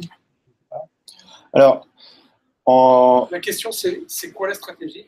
Ça Qualité, c'est un peu vague quand tu dis qualité. Ouais, parce que c'est une question. en fait. C'est- Comment, comment vous faites euh, quand vous comparez et quand vous essayez de corréler des données pour éviter des problèmes liés à la, aux qualités de, des données? Alors, soit euh, la quali- la- les données sont euh, mauvaises et à ce moment-là, elles vont être non contributives. Et, à ce moment, et soit l'expert nous dit, là, il y a un problème, il faut retravailler sur ce point. Et on va travailler avec lui, on va essayer de voir comment est-ce qu'on peut nettoyer la base. Soit euh, bah, le, biais euh, qu'il y a dans les données peut aussi jouer en faveur du modèle, en fonction de comment c'est renseigné.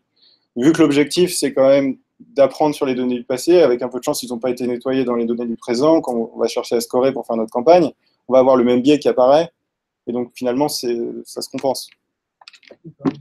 J'ai une- question. Excusez-moi. Vraiment très rapide. Parce que très rapide. Vous avez déjà pensé à prendre un échantillon aléatoire de vos données pour pouvoir euh, étudier plus de variables?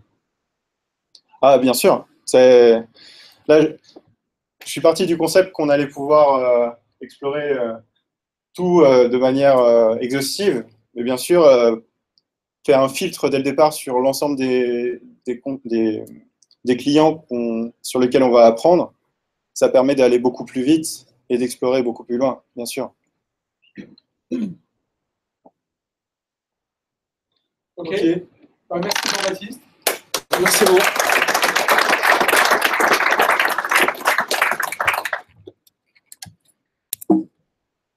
Sur le Allô Twitter de ML Paris, euh, donc ML. Paris ML Group, Non, non, l'éteins pas, j'ai l'éteins les pas. deux, trois meet-up qui étaient euh, en ce moment pour le mois de mars, et euh, j'ai pas inclus euh, les nôtres. Il y en a encore euh, deux autres qui sont vraiment des hors-série euh, sur euh, l'entraînement sur Spark. Euh, donc on aura Deux workshops. ouais, deux workshops qui seront exactement sur la même chose, donc pas besoin de venir en deux, sauf si Exactement. milieu, ouais, On répète deux fois l'atelier 1 avec 20 entre 25 et 30 places à chaque atelier. Mais vraiment, euh, le motto, en fait, ce qu'il faut retenir, c'est que ne viennent que les gens vraiment morts de faim de Spark. Donc, si vous avez juste un vague intérêt, euh, voilà, le- il faut pas venir, faut, il y a que 25 places. Donc, en fait, euh, on remplit les places qu'avec des gens euh, au taquet sur Spark. Et c'est un workshop, c'est un atelier. Et donc, vous venez avec votre machine et on code. La grande nouvelle de la journée, c'est que Pardon? Kaggle a quand même été racheté par euh, Google. Ah bon? Donc séparément, ouais. Ah. D'accord. Tout le monde n'est pas au courant. Non. Donc euh, voilà. On Combien? sait pas ce que ça veut dire. Hein Combien? Je sais pas. Je pas le- Ok.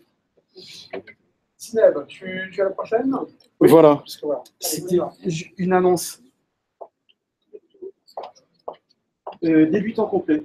Donc, si vous êtes un expert intersidéral, euh, vous allez vous ennuyer. Débutant complet. Tu as le micro, euh, Sineb Vas-y. Euh, Ouais. Alors, bonsoir. Euh, je m'appelle Zineb Lamrani. Je profite de ce meet-up pour euh, vous présenter br- très brièvement mon projet d'entreprise parce que je suis à la recherche active d'associés. Euh, euh, je viens d'une euh, formation d'ingénieur de l'INSA où j'ai fait particulièrement des mathématiques et de l'informatique. J'ai ensuite travaillé quatre ans euh, chez euh, Bolloré Africa Logistique. Euh, ensuite, j'ai décidé de me lancer dans le monde de, de start-up, de création d'entreprise. Euh, je suis une grande passionnée de la mode, une euh, fashion victime. euh, d'où mon sujet d'entreprise. Euh, en fait, l'idée m'est venue en discutant euh, avec euh, plusieurs fashion victimes aussi, comme, comme moi, et avec des blogueurs, des commerciaux euh, dans, dans le secteur de mode, euh, que des consommateurs euh, comme moi qui s'investissent qui s'investissent euh, dans beaucoup, beaucoup d'achats de belles pièces et qui ne savent pas comment les mettre, euh, pour ni avec quoi pour les mettre en valeur. Euh, donc, euh, je me suis dit que développer une application qui fabrique automatiquement des looks selon un input, photo ou style ou autre, pourrait être une bonne idée. J'ai deux, je- pour l'instant, je vois deux visions de l'application. Euh, une vision B2C en, à court terme pour, euh, pour des, passionnés de la mode et euh, une vision enfin, plus intéressante pour gagner de l'argent, euh, B2B. euh, ça, c'est, je mettrai à disposition des marques comme euh, Sandro, par exemple, pour booster leurs ventes hors solde et pour euh, orienter leur catalogue pour, pour une meilleure prise de décision de leur catalogue en temps réel. Donc, euh, j'ai commencé à discuter avec, euh, avec un commercial du SMCP, enfin, du groupe qui, déti- qui détient euh, Couple Sandro, qui sont intéressés par, par l'idée. Voilà, Hum, pour l'instant, je travaille sur, euh, enfin, j'approfondis mes connaissances en machine learning parce que même si j'ai fait quelques, quelques trucs à l'école, euh, je- c'est un domaine assez difficile. Euh, je, suis à la recherche de d'autres marques pour euh, tester l'idée. Euh, je, cherche donc quelqu'un pour m'aider parce qu'il y a une grosse charge de travail, qui a des bonnes connaissances en machine learning, qui a envie de, d'avoir qui a envie de créer une, boîte, qui a envie de prendre des risques, un, enfin un ou plusieurs. hein. Et euh, bah, du coup, je vous laisse mes coordonnées si vous êtes intéressés. Ok. Merci Voilà, beaucoup. Merci super. Merci. Ceux qui sont intéressés, on discutera avec Zineb pendant le cocktail, on ne va pas prendre de questions. Voilà. On enchaîne la recherche de, de stage. Il y avait quelqu'un qui avait un. Stage. Il est où Il est où? Ah, Voilà. Alors, alors. Bon, moi, je me présente en Euh, attendant. On, a la- on est pressé. Donc, C'était euh, suis- c'était- c'est celui-là. Hein Oui, oui, oui, c'était C'est celui-là. ça. Non, c'était j'ai vu de celui-là. Pardon? Celui-là. Ah oui, pardon. Donc, euh, je suis mathématicien, euh, moi aussi. Attends, Euh, en fait, je suis maître de conférence euh, à, l'université et euh, j'ai enseigné cette année euh, un cours de machine learning. Et en fait, euh, j'ai. Euh, j'ai- j'ai- comment? pardon. Et donc, euh, j'ai un, je cherche un stagiaire euh, rémunéré pour faire un projet de recherche, enfin, qui a deux parties. Donc, euh, la première partie concerne la reconnaissance euh, de vraies signatures par rapport à des fausses signatures. Euh, ça peut être voir des applications en sécurité dans la banque. Et la deuxième partie serait un projet de colorisation, colorisation d'images en noir et blanc. Donc, c'est intéressant de savoir faire ça, mais c'est aussi intéressant pour la compression d'images. Ça coûte moins cher, ça. Et donc, comment est-ce qu'on peut comprendre ce problème-là? Donc, par exemple, ici, on peut voir les vraies signatures comme formant une sorte de surface. Et les fausses signatures, pardon, ouais. les fausses donc les fausses signatures sont les points qui sont ici. Et donc, on aimerait avoir un système qui puisse se discriminer les uns des autres. Voilà. Et euh, de notre co- donc ça, c'est quelque chose que la discrimination, ça c'est quelque chose qui, qui est bien connu en, en machine learning avec la réseau de neurones. Au fond, Euh, par contre, celui-là a été euh, plus difficile parce que c'est un problème génératif. Étant donné une image noir et blanc, si ça c'est des images en couleur, euh, comment générer une image en couleur ici? Donc ça, c'était quelque chose qu'on ne savait pas faire jusqu'à il y a à peu près un an, mais depuis, euh, on sait le faire. Alors, euh, un problème qui a, qui a été résolu de, similaire, c'est par exemple le problème de prédire euh, les images. Donc, on suppose qu'on a, on a connaît les n premières images, on voudrait savoir quelle est la n plus unième. Et ça, le problème, c'est que si on a pris ces n plus une, euh, c'est- si on a pris différents fils, euh, si on a n, une image ici, qu'on veut prédire la n plus unième, en- le- les réseaux neurones font des moyennes et on a quelque chose de flou. Donc en fait, ce qui a permis de résoudre ça, c'est ce qu'on appelle les réseaux euh, adversaires. Donc euh, ce qui permet, au lieu d'avoir une image floue, d'avoir des images claires. Et comment ça marche? En fait, euh, ça marche en entraînant deux euh, réseaux de neurones en simultané. Un qui va essayer de faire des images qui seront là-dessus. Donc, euh, au lieu d'être ici, on voudrait qu'elles soient là. Et un deuxième qui essaye de discriminer entre les points qui sont en dehors de la surface et ceux qui sont sur la surface. Et donc, euh, ça, c'est ce qu'on appelle les réseaux adversariaux. Et par exemple, si ici, c'est la surface des, des, vraies images de chambre, et qu'ici, on met un texte en disant « je veux un lit avec des draps blancs et des choses comme ça euh, et ben, ça génère des vraies images qui sont ici parce qu'on a pris la surface et pas euh, à la moyenne des, points. Donc du coup, moi, ce que je propose, c'est euh, d'appliquer cela pour générer les images. Et quelque chose qui, je pense, donc ça, a priori, ça doit être faisable. Et aussi, un, un point de vue, c'est qu'on a surtout utilisé ça pour générer, mais je pense que ça va avoir des meilleures, si on utilise le discriminateur, ça peut avoir des meilleures propriétés de discrimination. Donc, je pense que pour ce problème de discrimination entre les, les fausses signatures et les vraies signatures, la partie discriminante du réseau adversaire peut servir. Voilà. Donc, euh, je vous dis juste euh, mon nom et mon adresse. Donc, euh, c'est pour des étudiants en licence maîtrise, euh, voilà, si, ou, ou autre. Stage rémunéré Rémunéré, oui. euh, oui, oui, rémunéré, oui. Ok. oui. À Paris? C'est important. Euh, ça peut être sur Paris, oui. Ça peut être sur Paris? Oui. Ça peut être en remote? Tu n'es pas à Paris, en fait. Si, en fait, je suis sur Paris. C'est-à-dire sur que Paris. là, je suis en CRCT, donc euh, je suis vraiment sur Paris. Zinab, la même chose? Tu es sur Paris aussi. On a- T'es sur, la- euh, t'es sur Paris. Euh, Edmund D'accord.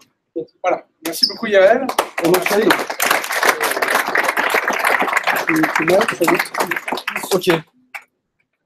Euh, L'idée du Calédo, donc on Comment va ça se avoir passe 10 minutes. Est-ce que j'ai un truc Euh, c'est vraiment euh, comment écrire ça. un article. Euh, Euh, tu prends la box ou alors euh, tu, tu parles dans le micro, c'est comme tu veux. Je ici, peux pas l'accrocher, que, ça euh, Euh, si, mais en fait, attends. Voilà, en fait, tu Euh, le mets pas vraiment avoir bouche, quelques dans le vent. C'est chaque euh, que c'est euh, bien que d'avoir un vous petit écrivez peu, euh, un petit peu en soit dessous. euh, animé plus facilement par Voilà. les journaux, ou voire même soit mieux lu sur Archive. Merci C'est bien. Vous m'entendez là? À peine. Vous m'entendez là? C'est mieux. Ouais. Ok, on a le bon niveau de son, c'est bon, tout le monde est heureux? Euh, Je suis entre vous et le dîner, on va boucler en 10 minutes, ça vous dit Je, je te laisse, euh, voilà, Ouais. la flèche, Alors, euh, que je fais flèche droite. Hop. Et flèche gauche, c'est ça. D'accord. Voilà. Ok. Et je te time. Ok, c'est bon, je me time aussi. Alors, euh, ok, on peut faire ça en anglais. Euh, combien de gens veulent l'anglais, combien de gens veulent le français? Okay, let's do it in English. Okay, okay, let's do it in English. So, um, my name's Edmund Ronald. Okay, I used to be an interviewer. I used to be a journalist. I'm used to being the dumbest person in the room, more or less. But today I'm also the oldest. It's a bit annoying.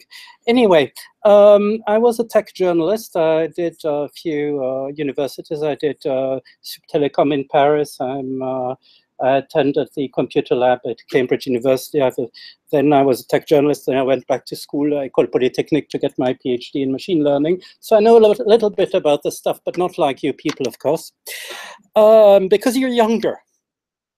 Uh, however, I also published a bunch of papers. You can see the beginning of my bibliography on the right. So I actually have published papers, including in CACM, IEEE Computer, etc. I think I probably have published because of my age as much as most of the, people in the room. Um, I was also the founder of a conference called uh, Artificial Evolution, which I think still exists bas basically. So I was one of the founders and uh, publication chair for uh, one or two of the editions. So I know how this game works. So the point about this talk is that I'm going to explain to you what the rules of the game look like uh, from the other side, okay? The other side of the mirror, the one you don't know about, which is how conferences are organized and uh, how they are reviewed. And that allows you to understand the maze a little bit better and maybe to improve your papers, because I want to see some better papers. That's one of the reasons, okay? And now, the first thing you need to know when you're going to write a paper is uh, you need to know that by the time you sit to write, you've already made too many decisions in a way. Um, you've decided where you're going to publish it. That's really, really, really, really important. We're going to come to that. Um, you already have your results very often. Well, too bad. If you have the results, they're not going to change. That's a decision which goes into the paper. It's going to determine the publicability of the paper, at least hopefully so. We're going to see that's actually not true. Uh, so anyway, before you sit down to write this paper, have a look at what you actually have because uh, maybe it's better to go back to uh, the actual computer and simply try and figure out if you need more stuff before you write. Uh, and above all, choose a better target, a better conference or um, journal to send it to. Uh, now, let's try and understand how conferences work. I'm sorry, Frank uh, and Igor, may I give a few of the secrets away of this game? Just a few, okay, not too many. Uh, the way this works is conferences have several tiers. At the bottom, of course, are you guys, uh, well, most of you, the people send in, who send in some stuff to be published, hopefully. We'll come to the reason for that later. Uh, above that is something called a program committee, who are scientists, people who are really very solid in the field, who read the paper uh, and at least set the review guidelines and determine what is a good paper or not. Excuse me, is there a problem there? Or, no, okay. And uh, a, very often the program committee, they set the guidelines, but then they farm out the actual reviewing to some poor grad students in their lab. Uh, that's not very good actually because uh, the grad students sometimes have maturity issues and also uh, they are also fashion victims. It doesn't always help. That's my personal opinion. I think I'm allowed to have a personal opinion today, just today, okay? Um, and then at the very top is an organizing committee who uh, are not necessarily scientifically oriented. They may be wanting to ensure the success of the conference. They don't want everybody to just be Google, Facebook, uh, and uh, I don't know, Palantir or whatever. Uh, they want some people from all over the world to come. They want the reputation of the conference to be uh, fun and uh, heavyweight and everything. So they actually go into this process, and after the papers are validated, they sometimes uh, choose some of the papers to appear, not appear, etc. Because you can't have, say, 20 papers from Google in the same conference and zero from anybody else. I hope I make sense.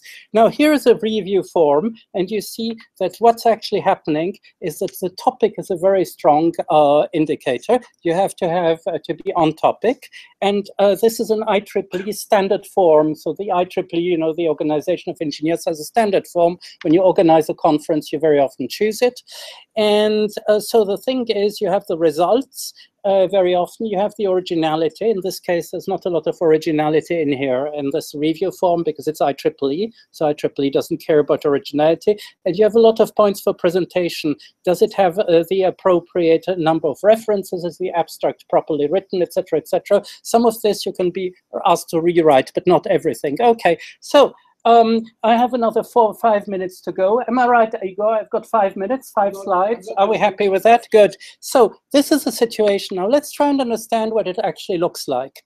Um, at the very top of every conference are 10 or 20% of papers which are actually going to publish, get published no matter what. Uh, the reason is they've been published by people who are very good, who have very good teams. So anything, anything which comes out of those teams and is validated is first rate. Okay, lots of energy there.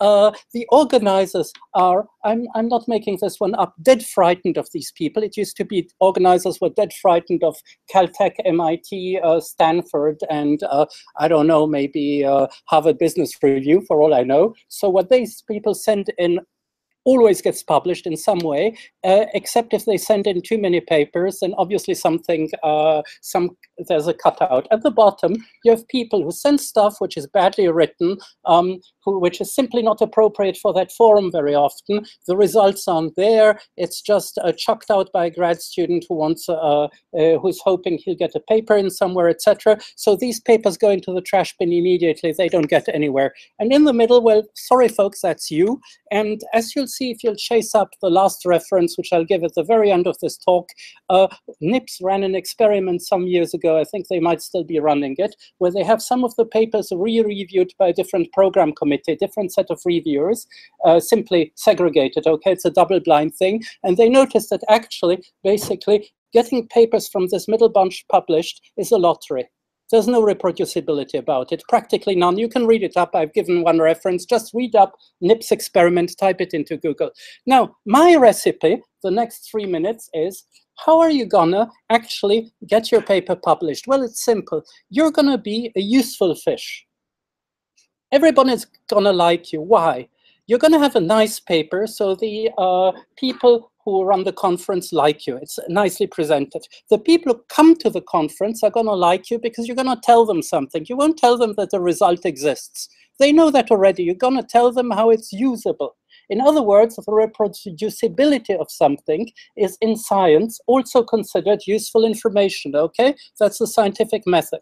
An applications paper is essentially reproducing something, some method somebody else has used in your context, explaining the way you adapt the core algorithms to your domain. And very often, if say in signal processing, this means that somebody else seeing the type of signal getting processed and the pre-processing steps, say from an encephalogram, will be able to move to an electrocardiogram or something.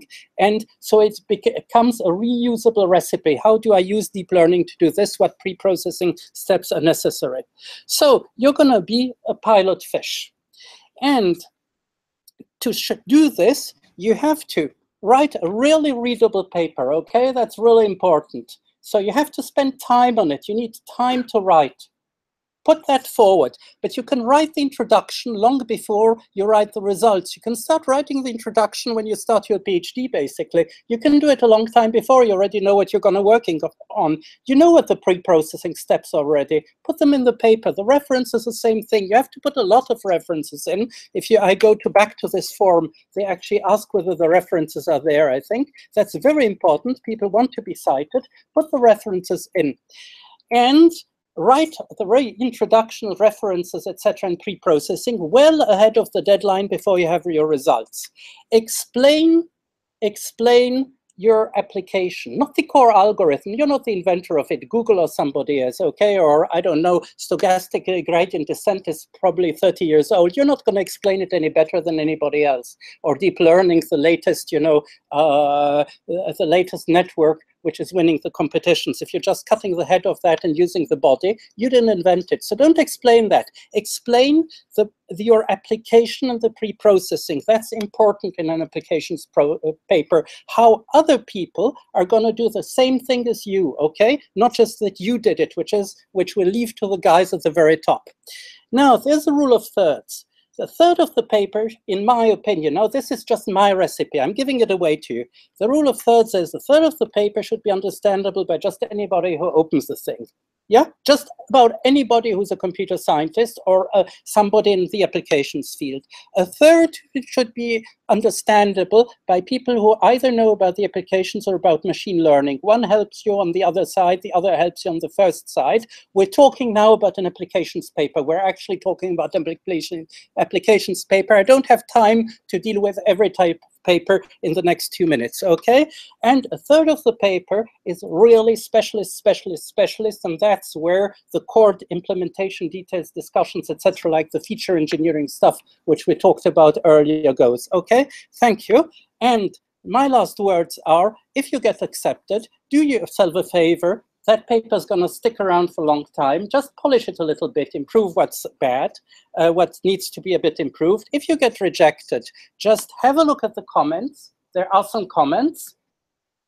And resubmit after you've dealt with them. And by the way, here's this talk about the NIPS experiment. You can see the overlap papers which get accepted by one don't get accepted by the other program committee, etc., and vice versa. It's a lottery, folks. Thank you very much for your time, and uh, bye.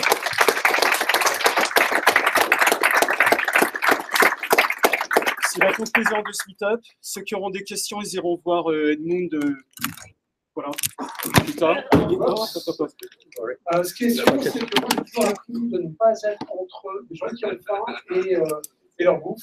Et euh, donc, en fait, Alain, les pizzas sont là, c'est ça? Elles sont arrivées Ouais. et on va les distribuer. Voilà. Merci pour votre patience avec le Merci à tous. Et euh, merci d'être là. On remet- N'hésitez pas à rester. Si On- vous voulez remettre quelques chaises contre ce mur ici, c'est top. On remercie Algo- Algolia de nous avoir accueillis. Le prochain meet-up, c'est le 15, 15 mars pour le workshop sur Spark. Voilà, merci à vous.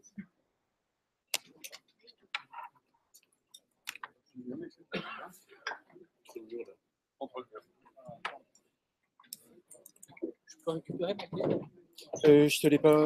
Ah oui. Attends, attends. Oh là, tu y tiens. On, sent qu'il y a une valeur, euh, on sent qu'il y a une valeur sentimentale. Non, ça fait c'est Igor qui voulait que je passe les slides. Merci, Florent. Ok. C'est moi qui te remercie. standard. Non, niveau timing, c'était vraiment parfait. hein. C'était très très fort. c'est- Tu admets Oui, mais je n'en doutais pas. Je t'avais prévenu, j'ai l'air euh, comme ça. Il y a un changement de, de mode. Je t'avais prévenu de ça. Non, que je J'en sais ai, pas du tout une seule seconde. La prochaine fois, alors, ça se passera mieux. Mais écoute, Organisation. Tu feras confiance, la confiance. Maintenant, moi, je l'ai, maintenant, je l'ai gagné. Voilà. Ouais, c'est vachement, ça bosse vachement bien. on était parfaitement, on était parfaitement à l'heure. Mais en fait, il était bien le truc, les gens l'ont bien entendu. Hein. Il était bien le truc, il faut le fixer. Ce qu'il faut savoir, c'est que